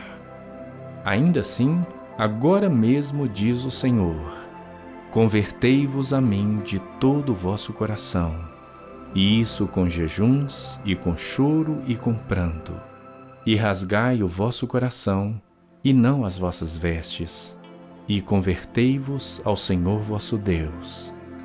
Porque Ele é misericordioso e compassivo, e tardio em irar-se, e grande em benignidade, e se arrepende do mal. Quem sabe se não se voltará e se arrependerá e deixará após si uma bênção em oferta de alimentos e libação para o Senhor vosso Deus. Tocai a trombeta em Sião, santificai um jejum, convocai uma assembleia solene. Congregai o povo, santificai a congregação, ajuntai os anciãos, congregai as crianças e os que mamam. Saia o noivo da sua recâmara e a noiva do seu aposento Chorem os sacerdotes, ministros do Senhor, entre o alpendre e o altar, e digam: Poupa teu povo, ó Senhor, e não entregues a tua herança ao opróbrio, para que os gentios o dominem. Por que diriam entre os povos: Onde está o seu Deus? Então o Senhor se mostrou zeloso da sua terra e compadeceu-se do seu povo. E o Senhor, respondendo, disse ao seu povo: Eis que vos envio o trigo e o mosto e o azeite, e dele sereis fartos, e vos não entregarei mais ao opróbrio entre os gentios. Mas removerei para longe de vós o exército do norte, e lançá-lo-ei em uma terra seca e deserta, a sua frente para o mar oriental e a sua retaguarda para o mar ocidental. E subirá o seu mau cheiro e subirá a sua podridão, porque fez grandes coisas. Não temas, ó terra, regozija-te e alegra-te, porque o Senhor fez grandes coisas. Não temais, animais do campo, porque os pastos do deserto reverdecerão, porque o arvoredo dará o seu fruto, a vide e a figueira darão a sua força. E vós, filhos de Sião, regozijai-vos e alegrai-vos no Senhor vosso Deus, porque ele vos dará em justa medida a chuva temporã. Fará descer a chuva no primeiro mês, a temporã e a serôdia. E as eiras se encherão de trigo, e os lagares transbordarão de mosto e de azeite. E restituir-vos-ei os anos que comeu o gafanhoto, a locusta e o pulgão e a lagarta, o meu grande exército que enviei contra vós e comereis abundantemente e vos fartareis, e louvareis o nome do Senhor vosso Deus, que procedeu para convosco maravilhosamente. E o meu povo nunca mais será envergonhado. E vós sabereis que estou no meio de Israel, e que eu sou o Senhor vosso Deus, e que não há outro. E o meu povo nunca mais será envergonhado. E há de ser que depois derramarei o meu espírito sobre toda a carne, e vossos filhos e vossas filhas profetizarão, os vossos velhos terão sonhos, os vossos jovens terão visões. E também sobre os servos e sobre as servas naqueles dias derramarei o meu espírito, e mostrarei prodígios no céu e na terra, sangue e fogo e colunas de fumaça. O sol se converterá em trevas e a lua em sangue, antes que venha o grande e terrível dia do Senhor. E há de ser que todo aquele que invocar o nome do Senhor será salvo. Porque no Monte Sião e em Jerusalém haverá livramento, assim como disse o Senhor, e entre os sobreviventes, aqueles que o Senhor chamar. Salmo 91 Aquele que habita no esconderijo do Altíssimo, à sombra do Onipotente descansará. Direi do Senhor: Ele é o meu Deus, o meu refúgio, a minha fortaleza, e nele confiarei. Porque ele te livrará do laço do passarinheiro e da peste perniciosa. Ele te cobrirá com as suas penas e debaixo das suas asas te confiarás. A sua verdade será o teu escudo e broquel. Não terás medo do terror de noite, nem da seta que voa de dia, nem da peste que anda na escuridão, nem da mortandade que assola ao meio-dia. Mil cairão ao teu lado e dez mil à tua direita, mas não chegará a ti. Somente com os teus olhos contemplarás e verás a recompensa dos ímpios. Porque tu, ó Senhor, és o meu refúgio. no Altíssimo fizeste a tua habitação.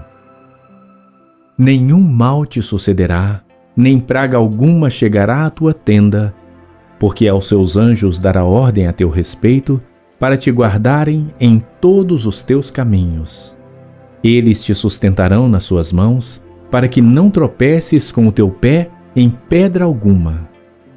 Pisarás sobre o leão e a cobra calcarás aos pés o leão jovem e a serpente.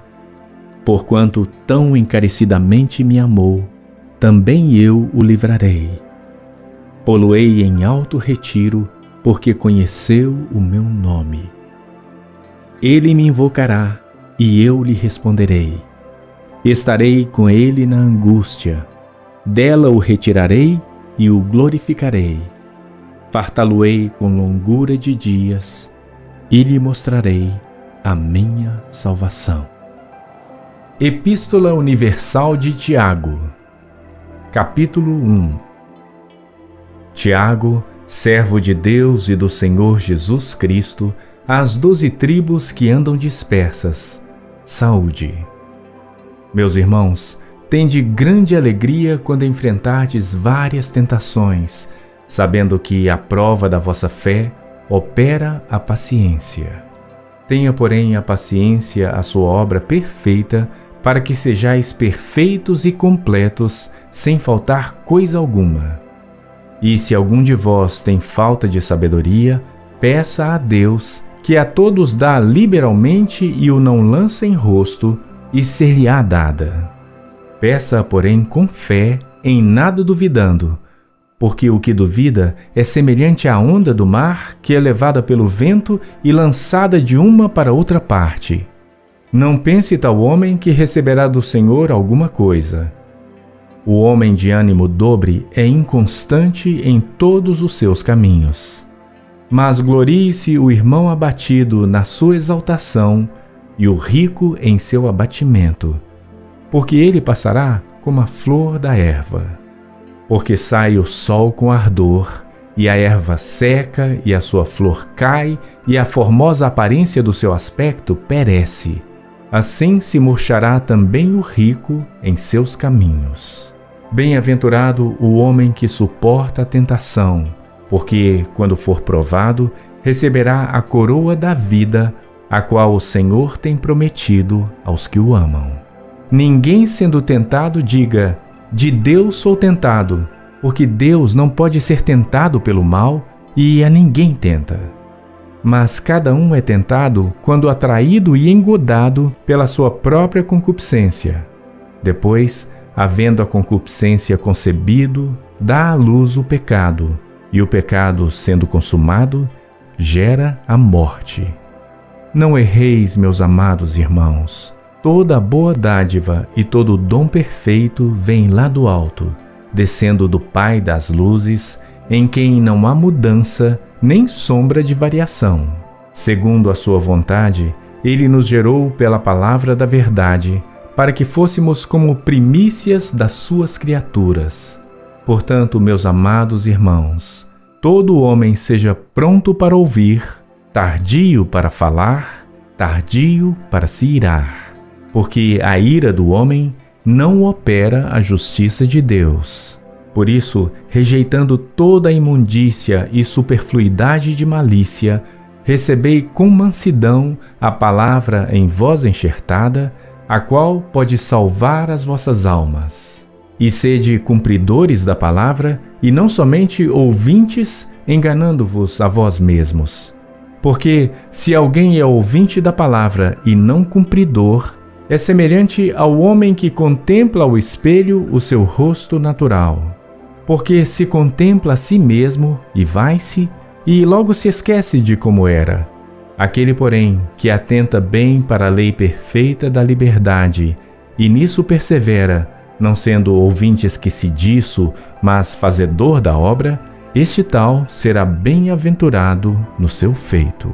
Se alguém entre vós cuida ser religioso e não refreia a sua língua, antes engana o seu coração, a religião desse é vã. A religião pura e imaculada para com Deus e Pai é esta: visitar os órfãos e as viúvas nas suas tribulações e guardar-se incontaminado do mundo. 1 Coríntios capítulo 7 Ora, quanto às coisas que me escrevestes, bom seria que o homem não tocasse em mulher, mas por causa da fornicação, cada um tem a sua própria mulher e cada uma tem o seu próprio marido. O marido pague à mulher a devida benevolência e da mesma sorte a mulher ao marido. A mulher não tem poder sobre o seu próprio corpo, mas tem-no o marido. E também da mesma maneira, o marido não tem poder sobre o seu próprio corpo, mas tem-no a mulher. Não vos priveis um ao outro, senão por consentimento mútuo por algum tempo, para vos aplicardes ao jejum e à oração. E depois ajuntai-vos outra vez para que Satanás não vos tente pela vossa intemperança. Digo, porém, isto como que por permissão e não por mandamento, porque quereria que todos os homens fossem como eu mesmo. Mas cada um tem de Deus o seu próprio dom, um de uma maneira e outro de outra. Digo, porém, aos solteiros e às viúvas que lhes é bom se ficarem como eu mas se não podem conter-se, casem-se, porque é melhor casar do que arder. Todavia, aos casados mando não eu, mas o Senhor, que a mulher não se aparte do marido. Se, porém, se apartar, que fique sem casar ou que se reconcilie com o marido, e que o marido não deixe a mulher. Mas aos outros digo eu, não o Senhor se algum irmão tem mulher descrente e ela consente em habitar com ele, não a deixe. E se alguma mulher tem marido descrente e ele consente em habitar com ela, não o deixe. Porque o marido descrente é santificado pela mulher, e a mulher descrente é santificada pelo marido. De outra sorte, os vossos filhos seriam imundos, mas agora são santos. Mas se o descrente se apartar, aparte-se. Porque neste caso o irmão ou irmã não está sujeito à servidão, mas Deus chamou-nos para a paz. Porque de onde sabes, ó mulher, se salvarás teu marido? Ou de onde sabes, ó marido, se salvarás tua mulher? E assim cada um ande como Deus lhe repartiu, cada um como o Senhor o chamou. É o que ordeno em todas as igrejas. É alguém chamado estando circuncidado? Não se faça incircunciso. É alguém chamado estando na incircuncisão? Não se circuncide.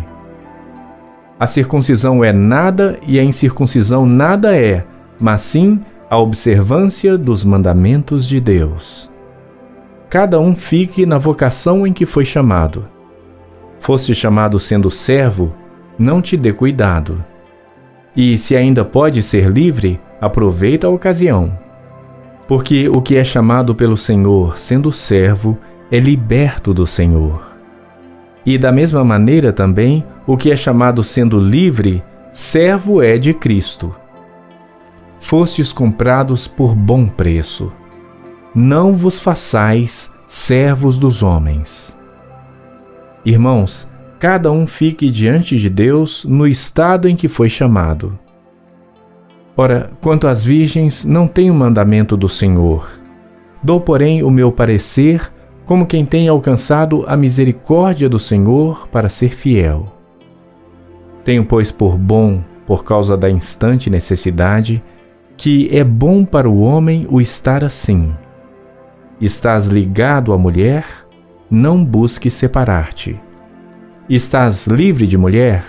Não busques mulher. Mas se te casares, não pecas. E se a virgem se casar, não peca. Todavia, os tais terão tribulações na carne, e eu quereria poupar-vos. Isto, porém, vos digo, irmãos, que o tempo se abrevia. O que resta é que também os que têm mulheres sejam como se não as tivessem, e os que choram, como se não chorassem, e os que folgam, como se não folgassem, e os que compram, como se não possuíssem, e os que usam deste mundo, como se dele não abusassem, porque a aparência deste mundo passa. E bem quisera eu que estivesseis sem cuidado. O solteiro cuida das coisas do Senhor, em como há de agradar ao Senhor. Mas o que é casado cuida das coisas do mundo, em como há de agradar a mulher. Há diferença entre a mulher casada e a virgem. A solteira cuida das coisas do Senhor para ser santa, tanto no corpo como no espírito. Porém, a casada cuida das coisas do mundo, em como há de agradar ao marido. E digo isto para proveito vosso, não para vos enlaçar, mas para o que é decente e conveniente, para vos unirdes ao Senhor sem distração alguma. Mas se alguém julga que trata indignamente a sua virgem, se tiver passado a flor da idade e se for necessário, que faça o tal o que quiser, não peca, casem-se. Todavia, o que está firme em seu coração, não tendo necessidade, mas com poder sobre a sua própria vontade, se resolveu no seu coração guardar a sua virgem, faz bem. De sorte que o que a dá em casamento faz bem, mas o que não a dá em casamento faz melhor. A mulher casada está ligada pela lei todo o tempo que o seu marido vive. Mas se falecer o seu marido, fica livre para casar com quem quiser, contanto que seja no Senhor. Será, porém, mais bem-aventurada se ficar assim, segundo o meu parecer. E também eu cuido que tenho o Espírito de Deus. Atos dos Apóstolos, capítulo 1 Fiz o primeiro tratado, ó Teófilo, acerca de tudo que Jesus começou não só a fazer, mas a ensinar, até ao dia em que foi recebido em cima, depois de ter dado mandamentos pelo Espírito Santo aos apóstolos que escolhera, aos quais também, depois de ter padecido, se apresentou vivo, com muitas provas infalíveis, sendo visto por eles por espaço de quarenta dias e falando das coisas concernentes ao reino de Deus e, estando com eles, determinou-lhes que não se ausentassem de Jerusalém, mas que esperassem a promessa do Pai, que disse ele: De mim ouvistes.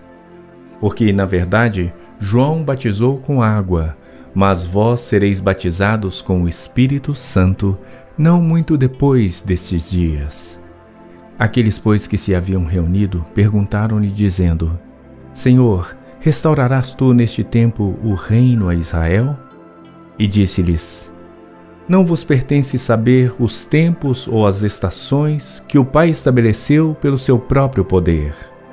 Mas recebereis o poder do Espírito Santo que há de vir sobre vós, e ser-me-eis testemunhas, tanto em Jerusalém como em toda a Judéia e Samaria, e até aos confins da terra. E quando dizia isto, vendo-o eles, foi elevado às alturas e uma nuvem o recebeu, ocultando-o a seus olhos. E, estando com os olhos fitos no céu enquanto ele subia, eis que junto deles se puseram dois homens vestidos de branco, os quais lhes disseram: Homens galileus, por que estáis olhando para o céu? Este Jesus que dentre vós foi recebido em cima no céu, há de vir, assim como para o céu o vistes ir. Então voltaram para Jerusalém, do monte chamado das Oliveiras, o qual está perto de Jerusalém, à distância do caminho de um sábado. E entrando, subiram ao cenáculo, onde haviam Pedro e Tiago, João e André, Filipe e Tomé, Bartolomeu e Mateus, Tiago, filho de Alfeu, Simão o Zelote e Judas, irmão de Tiago. Todos estes perseveravam unanimemente em oração e súplicas com as mulheres e Maria, mãe de Jesus, e com seus irmãos.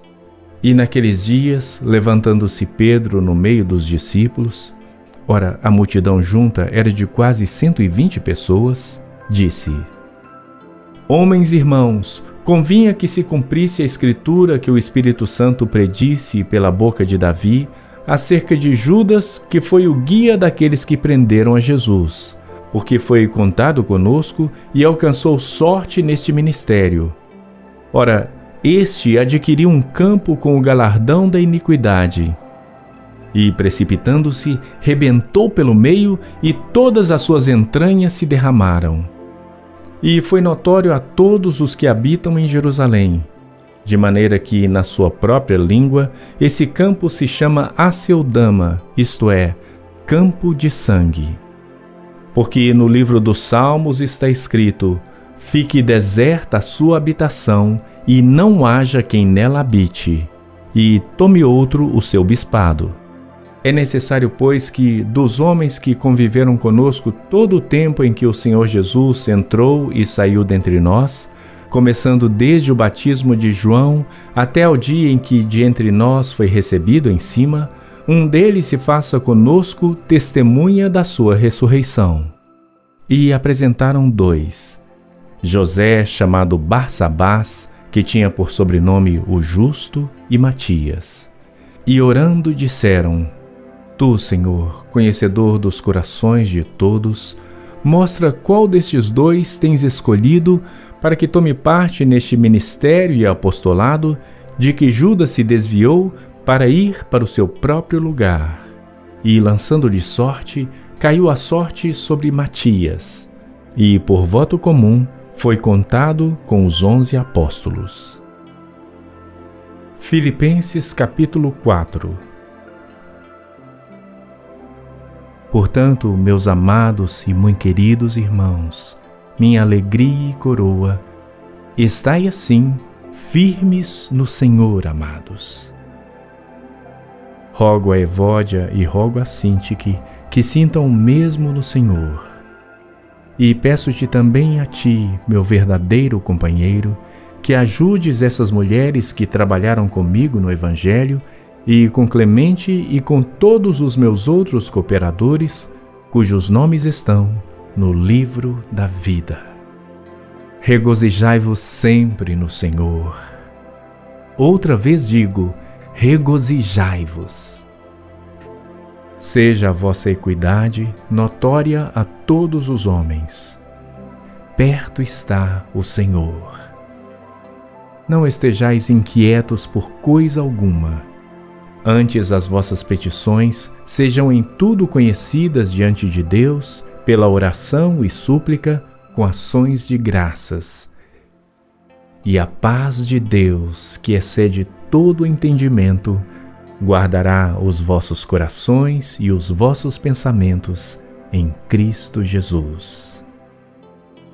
Quanto ao mais, irmãos, tudo que é verdadeiro, tudo que é honesto, tudo que é justo, tudo que é puro, tudo que é amável, tudo que é de boa fama, se há alguma virtude e se há algum louvor, nisso pensai o que também aprendestes e recebestes, e ouvistes e vistes em mim, isso fazei, e o Deus de paz será convosco. Ora, muito me regozijei no Senhor por finalmente reviver a vossa lembrança de mim. Pois já vos tinhais lembrado, mas não tinhais tido oportunidade. Não digo isto como por necessidade, porque já aprendi a contentar-me com o que tenho.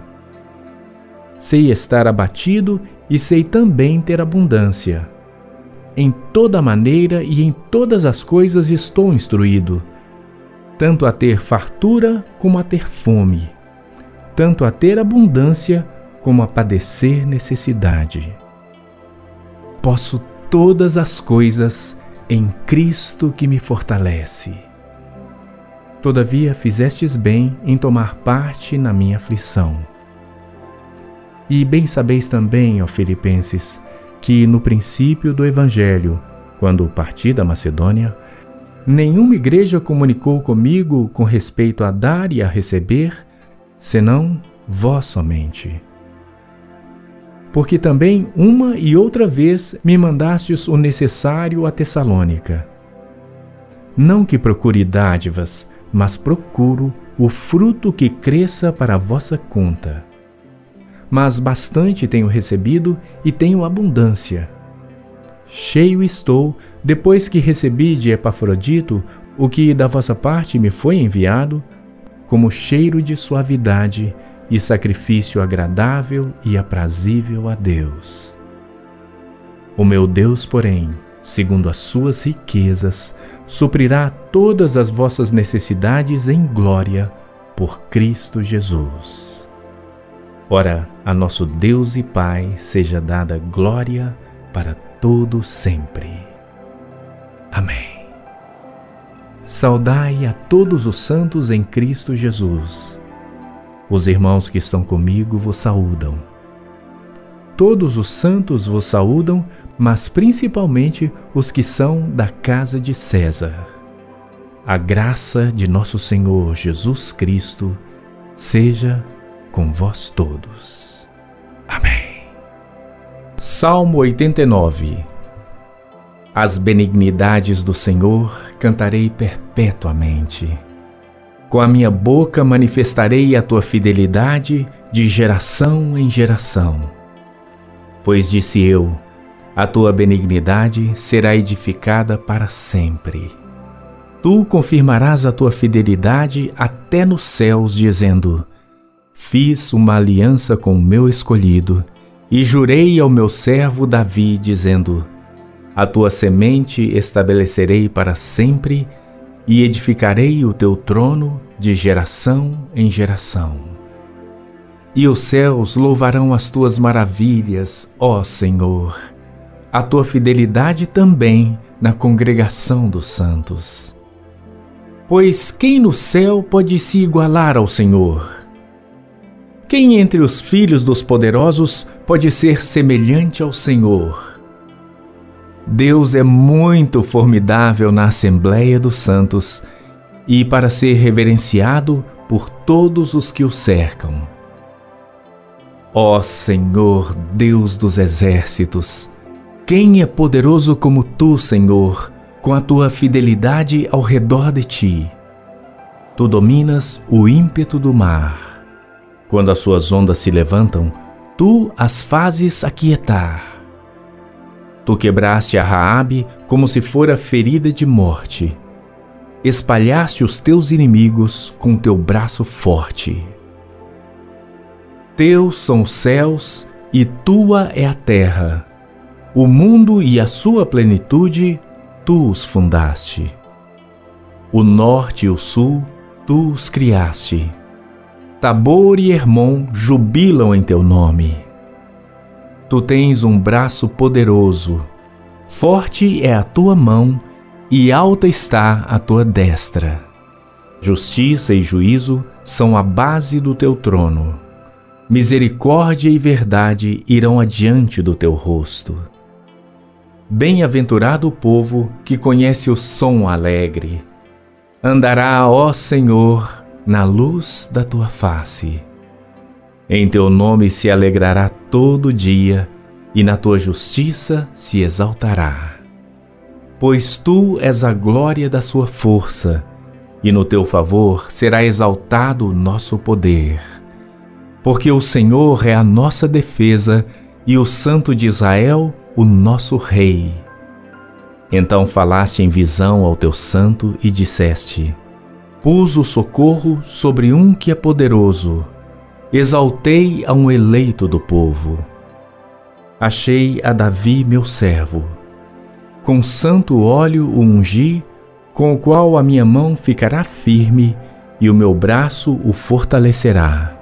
O inimigo não o importunará, nem o filho da perversidade o afligirá. E eu derrubarei os seus inimigos perante a sua face e ferirei aos que o odeiam e a minha fidelidade e a minha benignidade estarão com ele, e em meu nome será exaltado o seu poder. Porei também a sua mão no mar e a sua direita nos rios. Ele me chamará dizendo: Tu és meu Pai, meu Deus e a rocha da minha salvação. Também o farei meu primogênito mais elevado do que os reis da terra. A minha benignidade lhe conservarei eu para sempre, e a minha aliança lhe será firme, e conservarei para sempre a sua semente e o seu trono como os dias do céu. Se os seus filhos deixarem a minha lei e não andarem nos meus juízos, se profanarem os meus preceitos e não guardarem os meus mandamentos, então ferirei a sua transgressão com a vara e a sua iniquidade com açoites. Mas não retirarei totalmente dele a minha benignidade, nem faltarei a minha fidelidade. Não quebrarei a minha aliança, não alterarei o que saiu dos meus lábios. Uma vez jurei por minha santidade que não mentirei a Davi. A sua semente durará para sempre, e o seu trono como o sol diante de mim. Será estabelecido para sempre como a lua e como uma testemunha fiel no céu. Mas tu rejeitaste e aborreceste. Tu te indignaste contra o teu ungido Abominaste a aliança do teu servo, profanaste a sua coroa, lançando-a por terra. Derrubaste todos os seus muros, arruinaste as suas fortificações. Todos os que passam pelo caminho o despojam. É um opróbrio para os seus vizinhos. Exaltaste a destra dos seus adversários. Fizeste com que todos os seus inimigos se regozijassem. Também embotaste o fio da sua espada e não o sustentaste na peleja. Fizeste cessar a sua glória e deitaste por terra o seu trono. Abreviaste os dias da sua mocidade, cobriste-o de vergonha. Até quando, Senhor? Acaso te esconderás para sempre? Arderá a tua ira como fogo? Lembra-te de quão breves são os meus dias. Por que criarias em vão todos os filhos dos homens? Que homem há que viva e não veja a morte? Livrará ele a sua alma do poder da sepultura? Senhor, onde estão as tuas antigas benignidades que juraste a Davi pela tua verdade? Lembra-te, Senhor, do opróbrio dos teus servos. Como eu trago no meu peito o opróbrio de todos os povos poderosos, com o qual, Senhor, os teus inimigos têm difamado, com o qual têm difamado as pisadas do teu ungido. Bendito seja o Senhor para sempre. Amém e Amém. Primeira Epístola Universal de João, capítulo 1 O que era desde o princípio, o que ouvimos, o que vimos com os nossos olhos, o que temos contemplado e as nossas mãos tocaram da palavra da vida, porque a vida foi manifestada e nós a vimos e testificamos dela e vos anunciamos a vida eterna, que estava com o Pai e nos foi manifestada. O que vimos e ouvimos, isso vos anunciamos, para que também tenhais comunhão conosco e a nossa comunhão é com o Pai e com seu Filho Jesus Cristo. Estas coisas vos escrevemos para que o vosso gozo se cumpra. E esta é a mensagem que dele ouvimos e vos anunciamos: que Deus é luz e não há nele trevas nenhumas.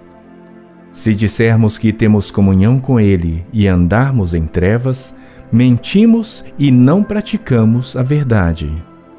Mas, se andarmos na luz, como Ele na luz está, temos comunhão uns com os outros e o sangue de Jesus Cristo, seu Filho, nos purifica de todo pecado. Se dissermos que não temos pecado, enganamo-nos a nós mesmos e não há verdade em nós. Se confessarmos os nossos pecados, Ele é fiel e justo para nos perdoar os pecados e nos purificar de toda injustiça. Se dissermos que não pecamos, fazemo-lo mentiroso e a sua palavra não está em nós. 1 João capítulo 2 Meus filhinhos, estas coisas vos escrevo para que não pequeis. E se alguém pecar, temos um advogado para com o Pai, Jesus Cristo, o justo. E ele é a propiciação pelos nossos pecados e não somente pelos nossos, mas também pelos de todo o mundo. E nisto sabemos que o conhecemos, se guardarmos os seus mandamentos. Aquele que diz, Eu o conheço, e não guarda os seus mandamentos, é mentiroso e nele não está a verdade. Mas qualquer que guarda a sua palavra, o amor de Deus está nele verdadeiramente aperfeiçoado. Nisto conhecemos que estamos nele. Aquele que diz que está nele também deve andar como ele andou. Irmãos, não vos escrevo o mandamento novo, mas o mandamento antigo que desde o princípio tivestes. Este mandamento antigo é a palavra que desde o princípio ouvistes. Outra vez vos escrevo um mandamento novo, que é verdadeiro nele e em vós, porque vão passando as trevas e já a verdadeira luz ilumina. Aquele que diz que está na luz e odeia seu irmão, até agora está em trevas. Aquele que ama seu irmão está na luz e nele não há escândalo. Mas aquele que odeia seu irmão está em trevas e anda em trevas e não sabe para onde deva ir, porque as trevas lhe cegaram os olhos. Filhinhos, escrevo-vos porque pelo seu nome vos são perdoados os pecados. Pais, escrevo-vos porque conhecestes aquele que é desde o princípio. Jovens, escrevo-vos porque vencestes o maligno. Eu vos escrevo, filhos, porque conhecestes o Pai. Eu vos escrevi, pais, porque já conhecestes aquele que é desde o princípio. Eu vos escrevi, jovens, porque sois fortes e a palavra de Deus está em vós e já vencestes o maligno. Não ameis o mundo, nem o que no mundo há. Se alguém ama o mundo, o amor do Pai não está nele. Porque tudo o que há no mundo, a concupiscência da carne, a concupiscência dos olhos e a soberba da vida, não é do Pai, mas do mundo. E o mundo passa e a sua concupiscência, mas aquele que faz a vontade de Deus permanece para sempre. Filhinhos, é já a última hora. E como ouvistes que vem o Anticristo, também agora muito se tem feito anticristos, por onde conhecemos que é já a última hora. Saíram de nós, mas não eram de nós. Porque se fossem de nós, ficariam conosco. Mas isto é para que se manifestasse que não são todos de nós. E vós tendes a unção do Santo e sabeis todas as coisas. Não vos escrevi porque não soubesseis a verdade, mas porque a sabeis e porque nenhuma mentira é da verdade. Quem é o mentiroso senão aquele que nega que Jesus é o Cristo? É o Anticristo, esse mesmo que nega o Pai e o Filho. Qualquer que nega o Filho também não tem o Pai. Mas aquele que confessa o Filho tem também o Pai. Portanto, o que desde o princípio ouvistes, permaneça em vós. Se em vós permanecer o que desde o princípio ouvistes, também permanecereis no Filho e no Pai. E esta é a promessa que ele nos fez, a vida eterna. Estas coisas vos escrevi acerca dos que vos enganam. E a unção que vós recebestes dele fica em vós, e não tendes necessidade de que alguém vos ensine mas como a sua unção vos ensina todas as coisas, e é verdadeira e não é mentira, como ela vos ensinou, assim nele permanecereis. E agora, filhinhos, permanecei nele, para que, quando ele se manifestar, tenhamos confiança e não sejamos confundidos por ele na sua vinda. Se sabeis que ele é justo, sabeis que todo aquele que pratica justiça é nascido dele. Segunda Epístola do Apóstolo Paulo aos Coríntios. Capítulo 1 Paulo, apóstolo de Jesus Cristo pela vontade de Deus, e o irmão Timóteo, a igreja de Deus que está em Corinto, com todos os santos que estão em toda a Acaia. Graça a vós e paz da parte de Deus nosso Pai e da do Senhor Jesus Cristo. Bendito seja o Deus e Pai de nosso Senhor Jesus Cristo, o Pai das misericórdias e o Deus de toda a consolação, que nos consola em toda a nossa tribulação, para que também possamos consolar os que estiverem em alguma tribulação, com a consolação com que nós mesmos somos consolados por Deus. Porque, como as aflições de Cristo são abundantes em nós, assim também é abundante a nossa consolação por meio de Cristo. Mas se somos atribulados, é para vossa consolação e salvação, ou se somos consolados, para vossa consolação e salvação é, a qual se opera suportando com paciência as mesmas aflições que nós também padecemos. E a nossa esperança acerca de vós é firme, sabendo que, como sois participantes das aflições, assim o sereis também da consolação. Porque não queremos, irmãos, que ignoreis a nossa tribulação que nos sobreveio na Ásia, pois que fomos sobremaneira agravados mais do que podíamos suportar, de modo tal que até da vida desesperamos. Mas já em nós mesmos tínhamos a sentença de morte, para que não confiássemos em nós, mas em Deus que ressuscita os mortos, o qual nos livrou de tão grande morte e livra, em quem esperamos que também nos livrará ainda, ajudando-nos também vós com orações por nós, para que, pelo benefício que por muitas pessoas nos foi feita, por muitas também sejam dadas graças a nosso respeito. Porque a nossa glória é esta o testemunho da nossa consciência de que, com simplicidade e sinceridade de Deus, não com sabedoria carnal, mas na graça de Deus, temos vivido no mundo e de modo particular convosco. Porque nenhumas outras coisas vos escrevemos, senão as que já sabeis ou também reconheceis. E espero que também até ao fim as reconhecereis como também já em parte reconhecestes em nós, que somos a vossa glória, como também vós sereis a nossa no dia do Senhor Jesus. E com esta confiança quis primeiro ir ter convosco, para que tivesseis uma segunda graça, e por vós passar a Macedônia, e da Macedônia ir outra vez ter convosco, e ser guiado por vós a Judéia e deliberando isto, usei porventura de leviandade? Ou o que delibero, o delibero segundo a carne, para que haja em mim sim, sim e não, não? Antes, como Deus é fiel, a nossa palavra para convosco não foi sim e não.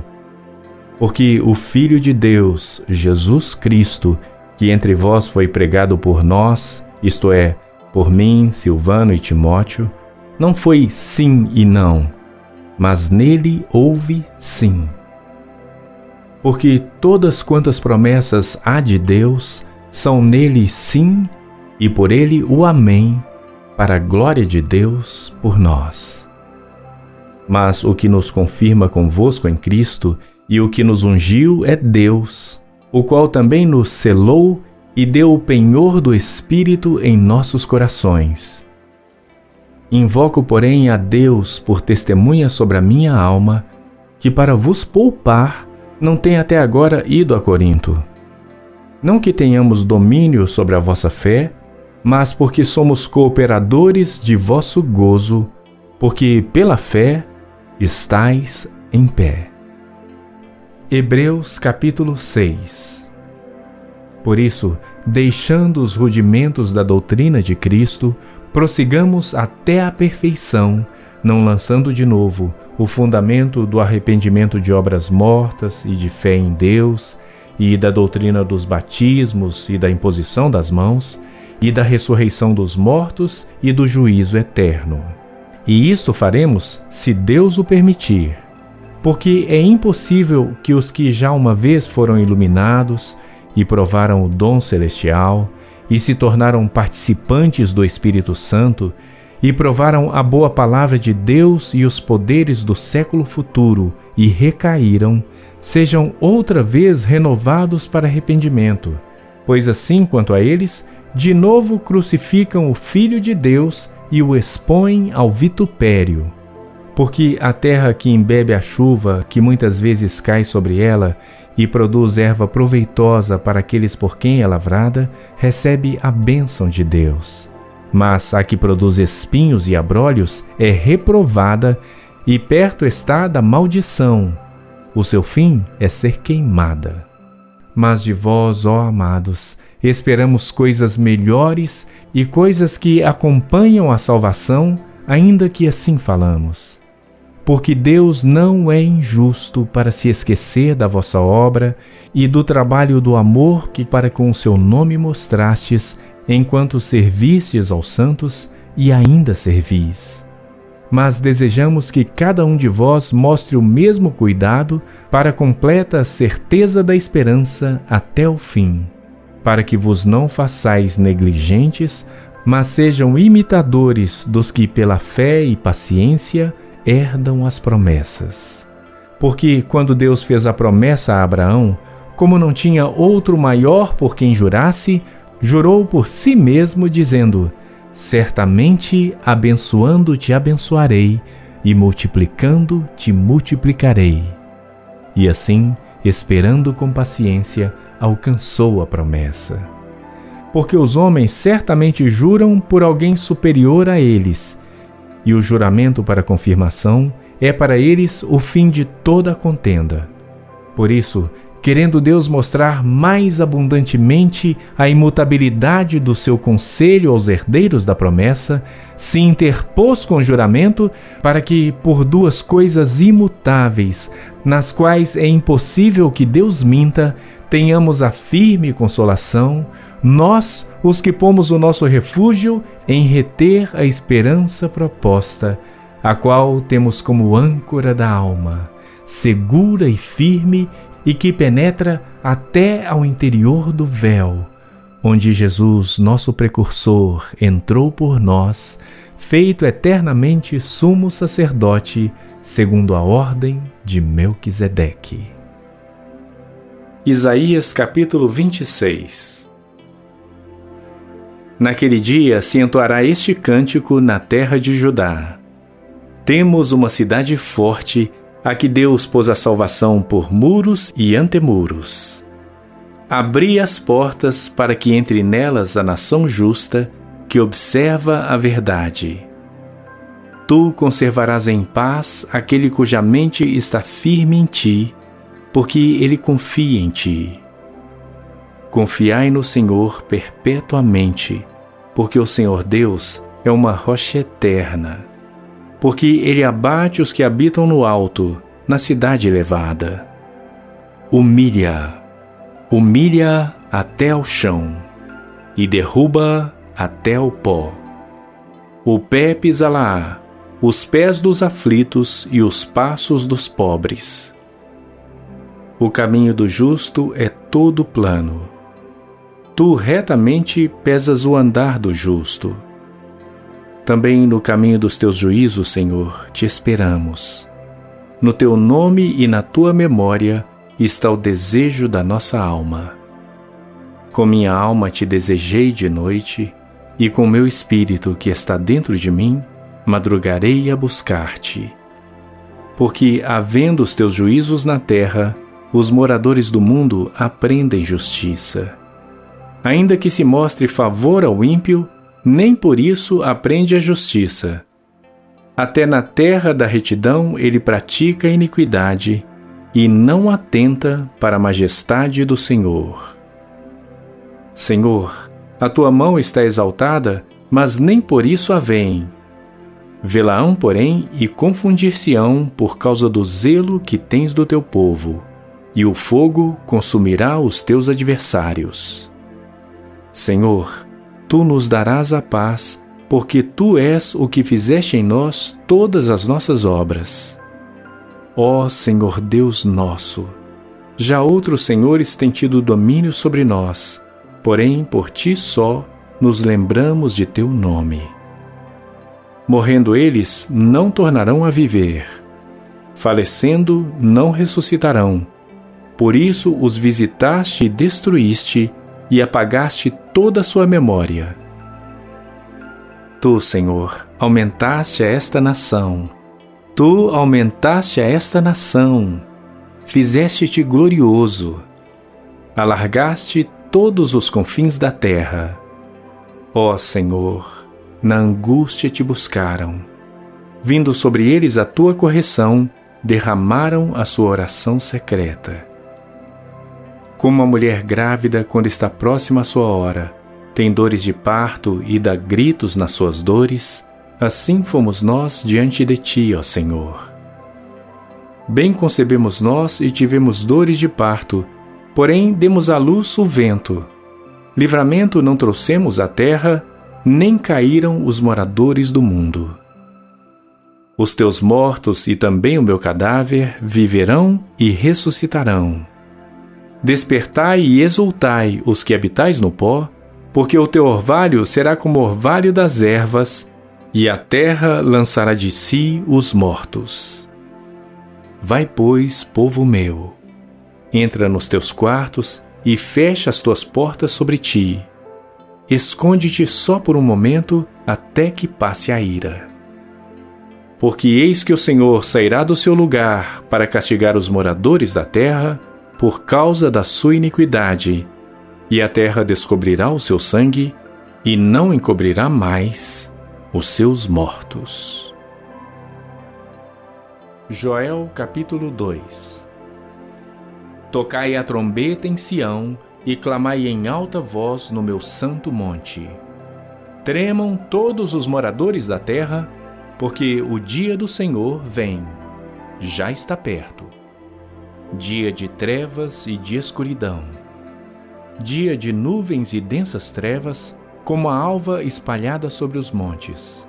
Povo grande e poderoso, qual nunca houve desde o tempo antigo, nem depois dele haverá pelos anos adiante, de geração em geração. Diante dele um fogo consome, e atrás dele uma chama abrasa. A terra diante dele é como o jardim do Éden mas atrás dele um desolado deserto. Sim, nada lhe escapará.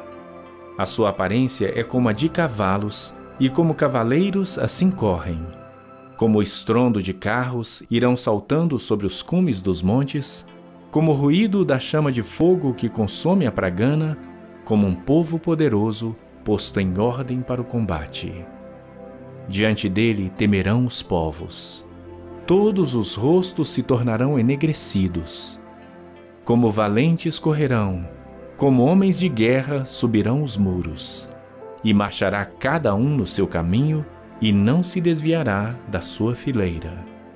Ninguém apertará seu irmão, marchará cada um pelo seu caminho, sobre a mesma espada se arremessarão e não serão feridos.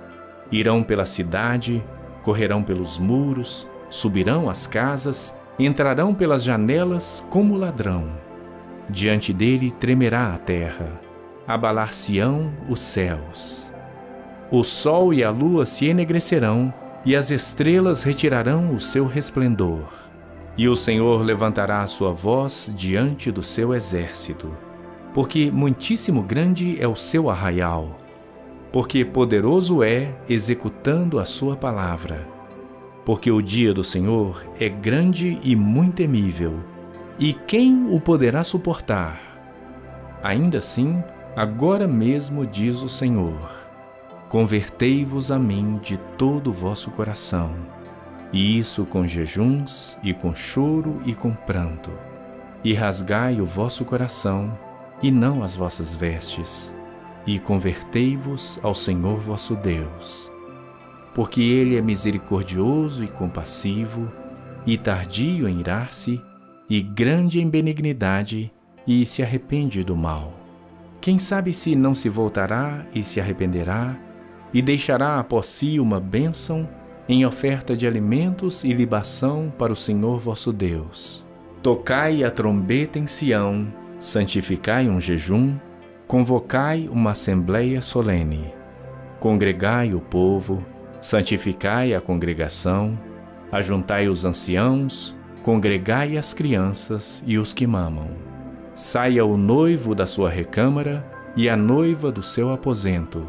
Chorem os sacerdotes, ministros do Senhor, entre o alpendre e o altar, e digam: Poupa teu povo, ó Senhor, e não entregues a tua herança ao opróbrio, para que os gentios o dominem. Por que diriam entre os povos: Onde está o seu Deus?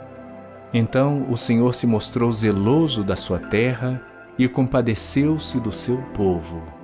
E o Senhor respondendo disse ao seu povo: Eis que vos envio o trigo e o mosto e o azeite, e deles sereis fartos, e vos não entregarei mais ao opróbrio entre os gentios. Mas removerei para longe de vós o exército do norte, e lançá-lo-ei em uma terra seca e deserta, a sua frente para o mar oriental e a sua retaguarda para o mar ocidental. E subirá o seu mau cheiro e subirá a sua podridão, porque fez grandes coisas. Não temas, ó terra, regozija-te e alegra-te, porque o Senhor fez grandes coisas.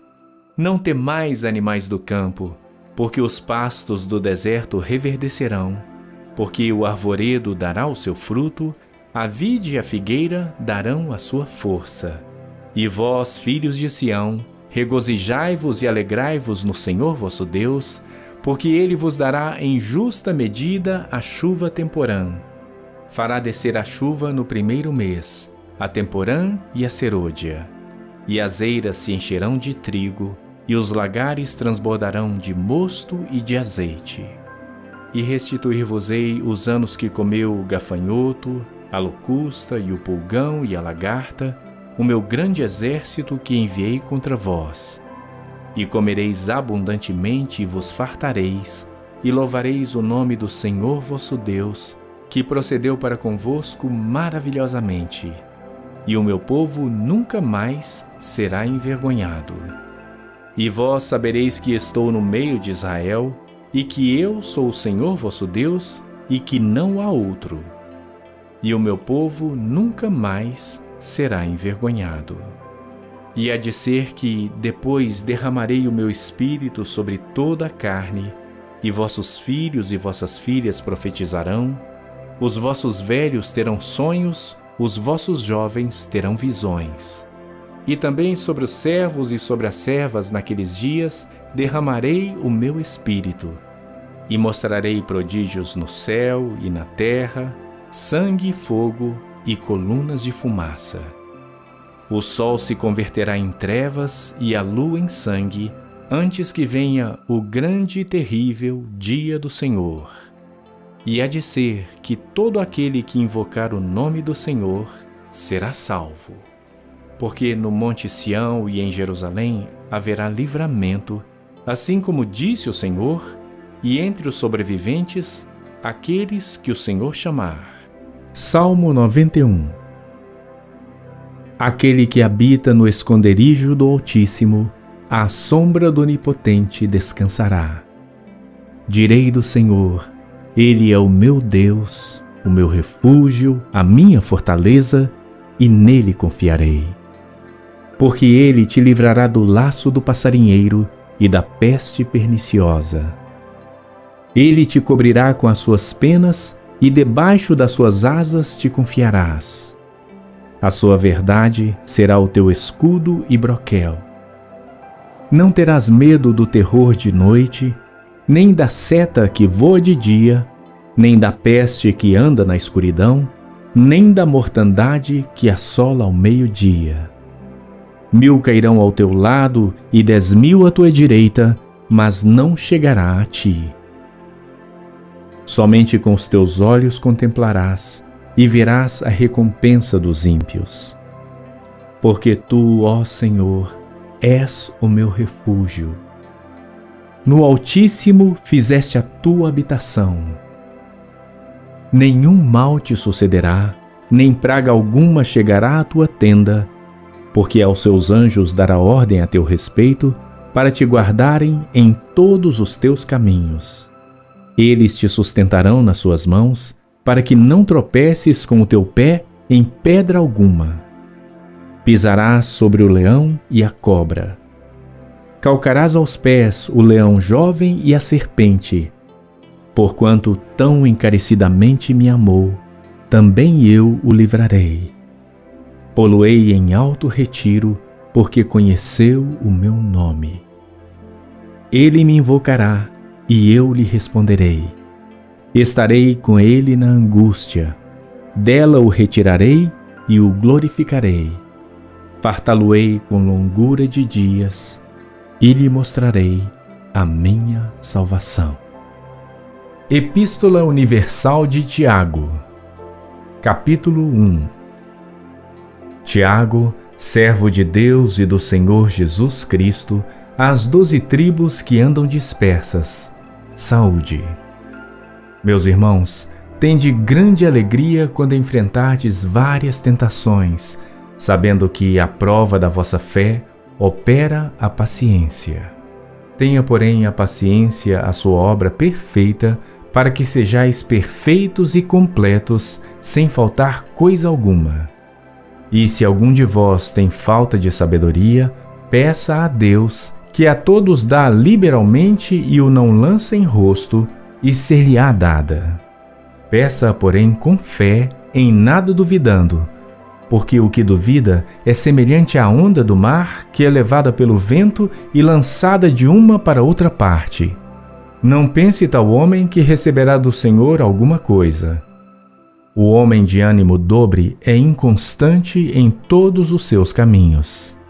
Mas glorie-se o irmão abatido na sua exaltação e o rico em seu abatimento, porque ele passará como a flor da erva porque sai o sol com ardor, e a erva seca, e a sua flor cai, e a formosa aparência do seu aspecto perece. Assim se murchará também o rico em seus caminhos.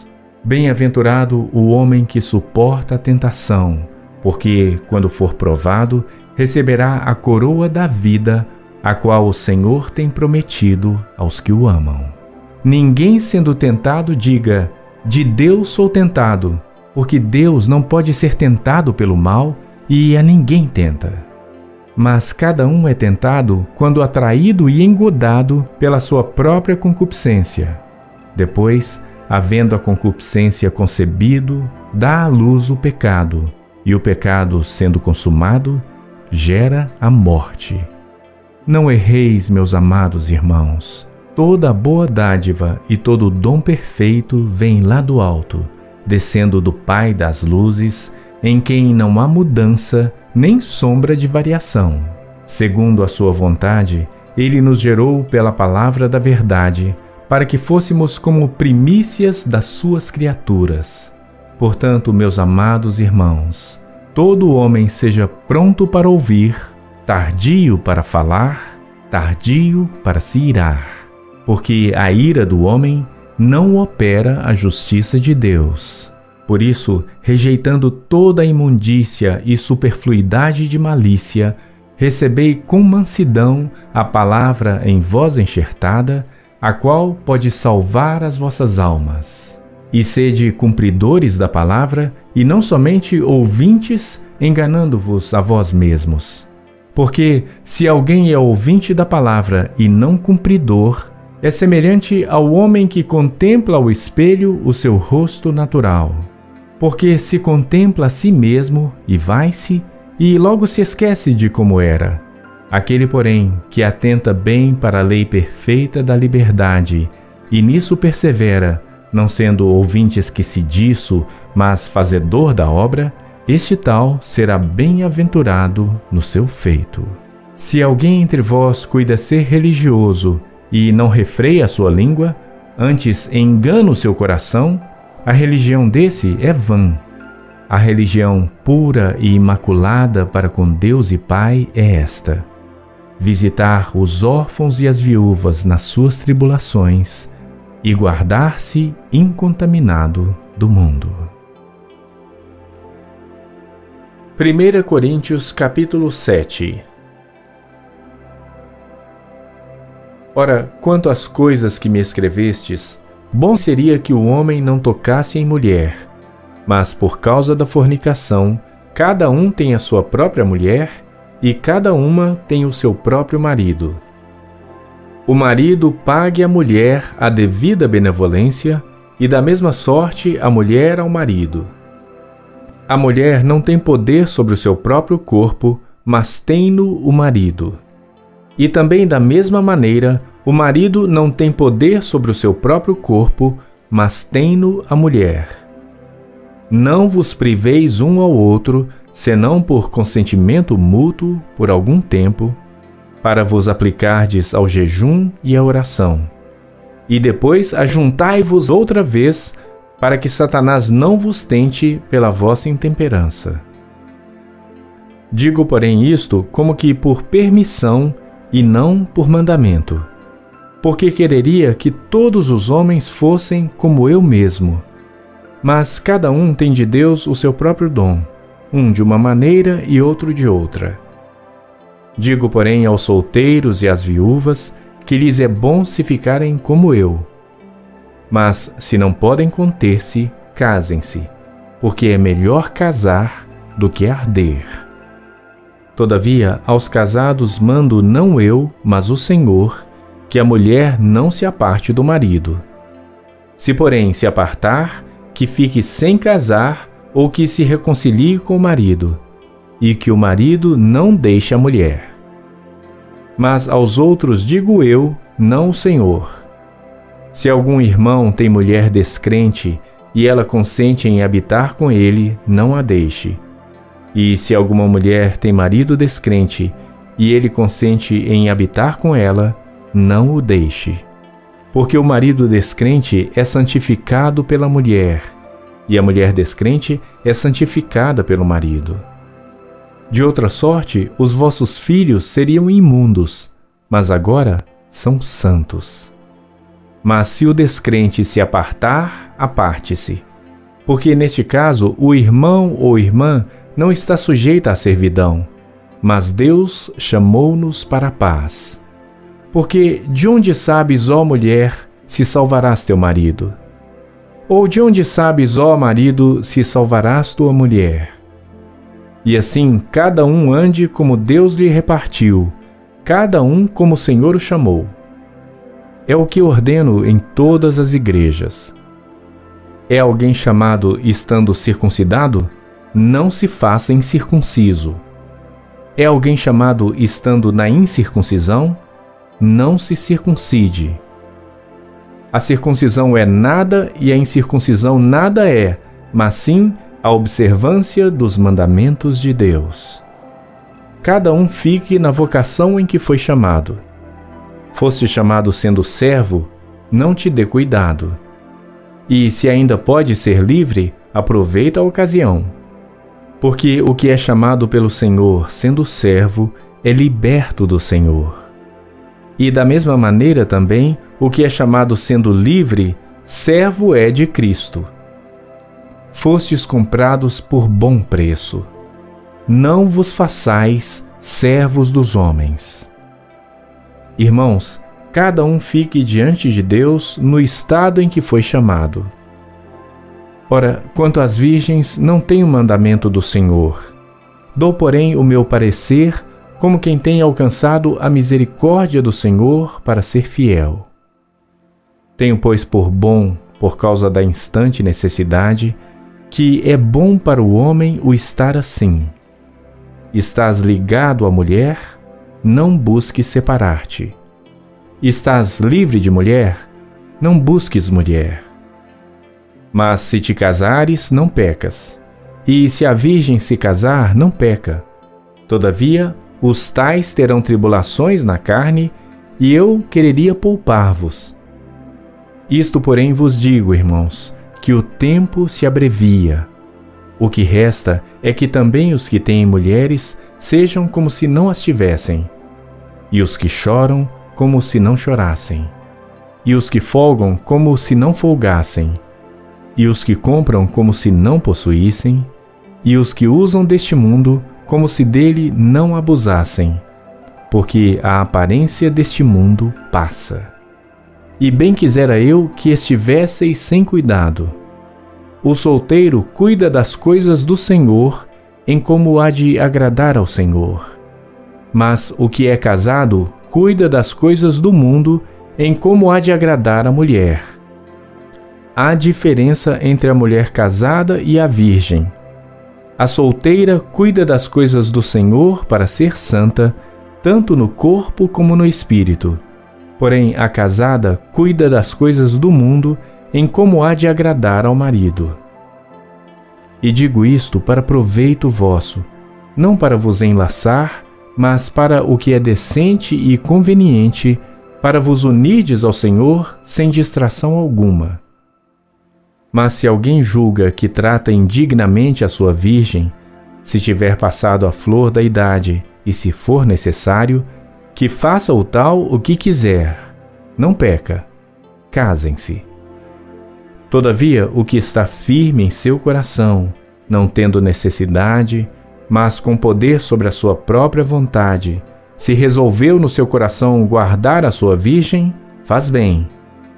De sorte que o que a dá em casamento faz bem, mas o que não a dá em casamento faz melhor. A mulher casada está ligada pela lei todo o tempo que o seu marido vive. Mas se falecer o seu marido, fica livre para casar com quem quiser, contanto que seja no Senhor. Será, porém, mais bem-aventurada se ficar assim, segundo o meu parecer.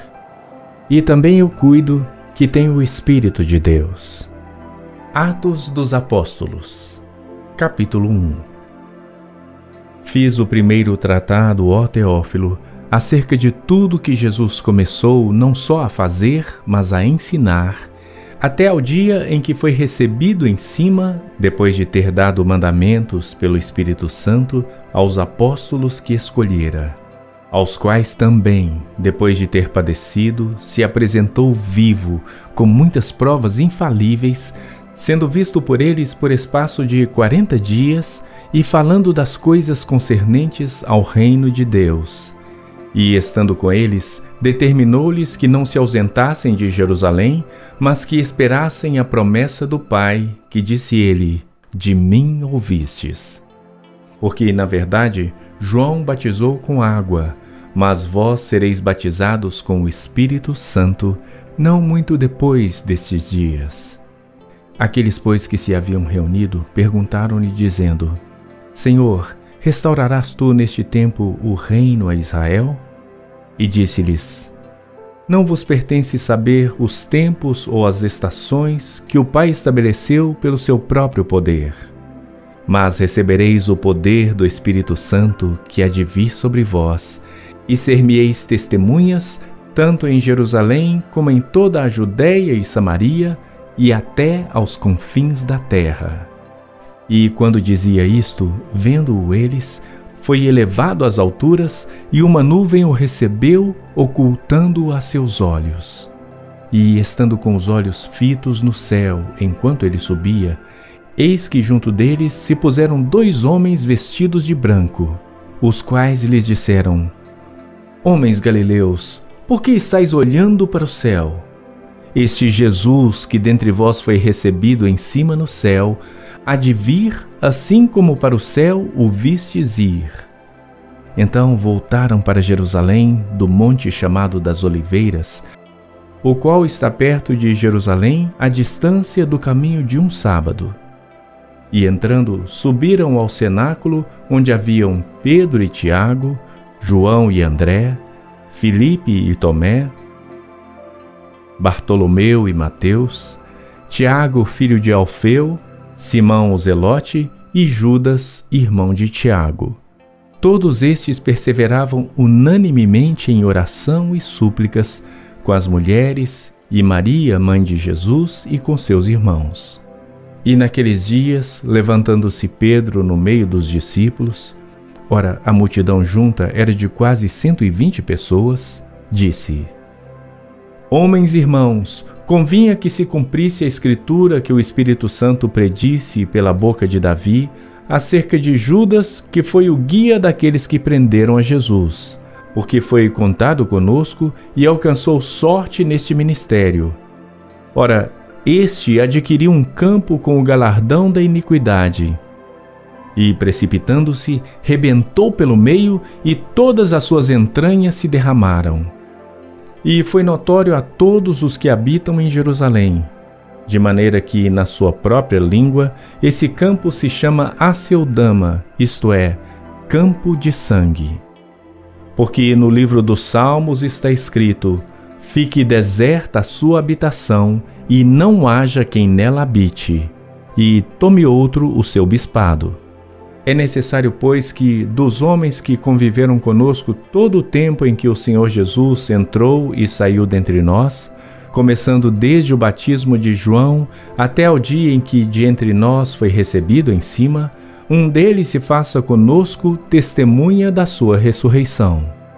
E apresentaram dois: José, chamado Barsabás, que tinha por sobrenome o Justo, e Matias. E orando disseram: Tu, Senhor, conhecedor dos corações de todos, mostra qual destes dois tens escolhido para que tome parte neste ministério e apostolado de que Judas se desviou para ir para o seu próprio lugar. E, lançando-lhe sorte, caiu a sorte sobre Matias, e, por voto comum, foi contado com os onze apóstolos. Filipenses capítulo 4 Portanto, meus amados e muito queridos irmãos, minha alegria e coroa, estai assim firmes no Senhor, amados. Rogo a Evódia e rogo a Sintique que sintam o mesmo no Senhor. E peço-te também a ti, meu verdadeiro companheiro, que ajudes essas mulheres que trabalharam comigo no Evangelho e com Clemente e com todos os meus outros cooperadores, cujos nomes estão no livro da vida. Regozijai-vos sempre no Senhor. Outra vez digo: regozijai-vos. Seja a vossa equidade notória a todos os homens. Perto está o Senhor. Não estejais inquietos por coisa alguma Antes as vossas petições sejam em tudo conhecidas diante de Deus pela oração e súplica com ações de graças. E a paz de Deus, que excede todo entendimento, guardará os vossos corações e os vossos pensamentos em Cristo Jesus. Quanto ao mais, irmãos, tudo que é verdadeiro, tudo que é honesto, tudo que é justo, tudo que é puro, tudo que é amável, tudo que é de boa fama, se há alguma virtude e se há algum louvor, nisso pensai. O que também aprendestes e recebestes, e ouvistes e vistes em mim, isso fazei, e o Deus de paz será convosco. Ora, muito me regozijei no Senhor por finalmente reviver a vossa lembrança de mim. Pois já vos tinhais lembrado, mas não tinhais tido oportunidade. Não digo isto como por necessidade, porque já aprendi a contentar-me com o que tenho. Sei estar abatido e sei também ter abundância. Em toda maneira e em todas as coisas estou instruído, tanto a ter fartura como a ter fome tanto a ter abundância como a padecer necessidade. Posso todas as coisas em Cristo que me fortalece. Todavia fizestes bem em tomar parte na minha aflição. E bem sabeis também, ó Filipenses, que no princípio do Evangelho, quando parti da Macedônia, nenhuma igreja comunicou comigo com respeito a dar e a receber, senão vós somente. Porque também uma e outra vez me mandastes o necessário a Tessalônica. Não que procure dádivas, mas procuro o fruto que cresça para a vossa conta. Mas bastante tenho recebido e tenho abundância. Cheio estou, depois que recebi de Epafrodito o que da vossa parte me foi enviado, como cheiro de suavidade e sacrifício agradável e aprazível a Deus. O meu Deus, porém, segundo as suas riquezas, suprirá todas as vossas necessidades em glória por Cristo Jesus. Ora, a nosso Deus e Pai seja dada glória para todo sempre. Amém. Saudai a todos os santos em Cristo Jesus. Os irmãos que estão comigo vos saúdam. Todos os santos vos saúdam mas principalmente os que são da casa de César. A graça de nosso Senhor Jesus Cristo seja com vós todos.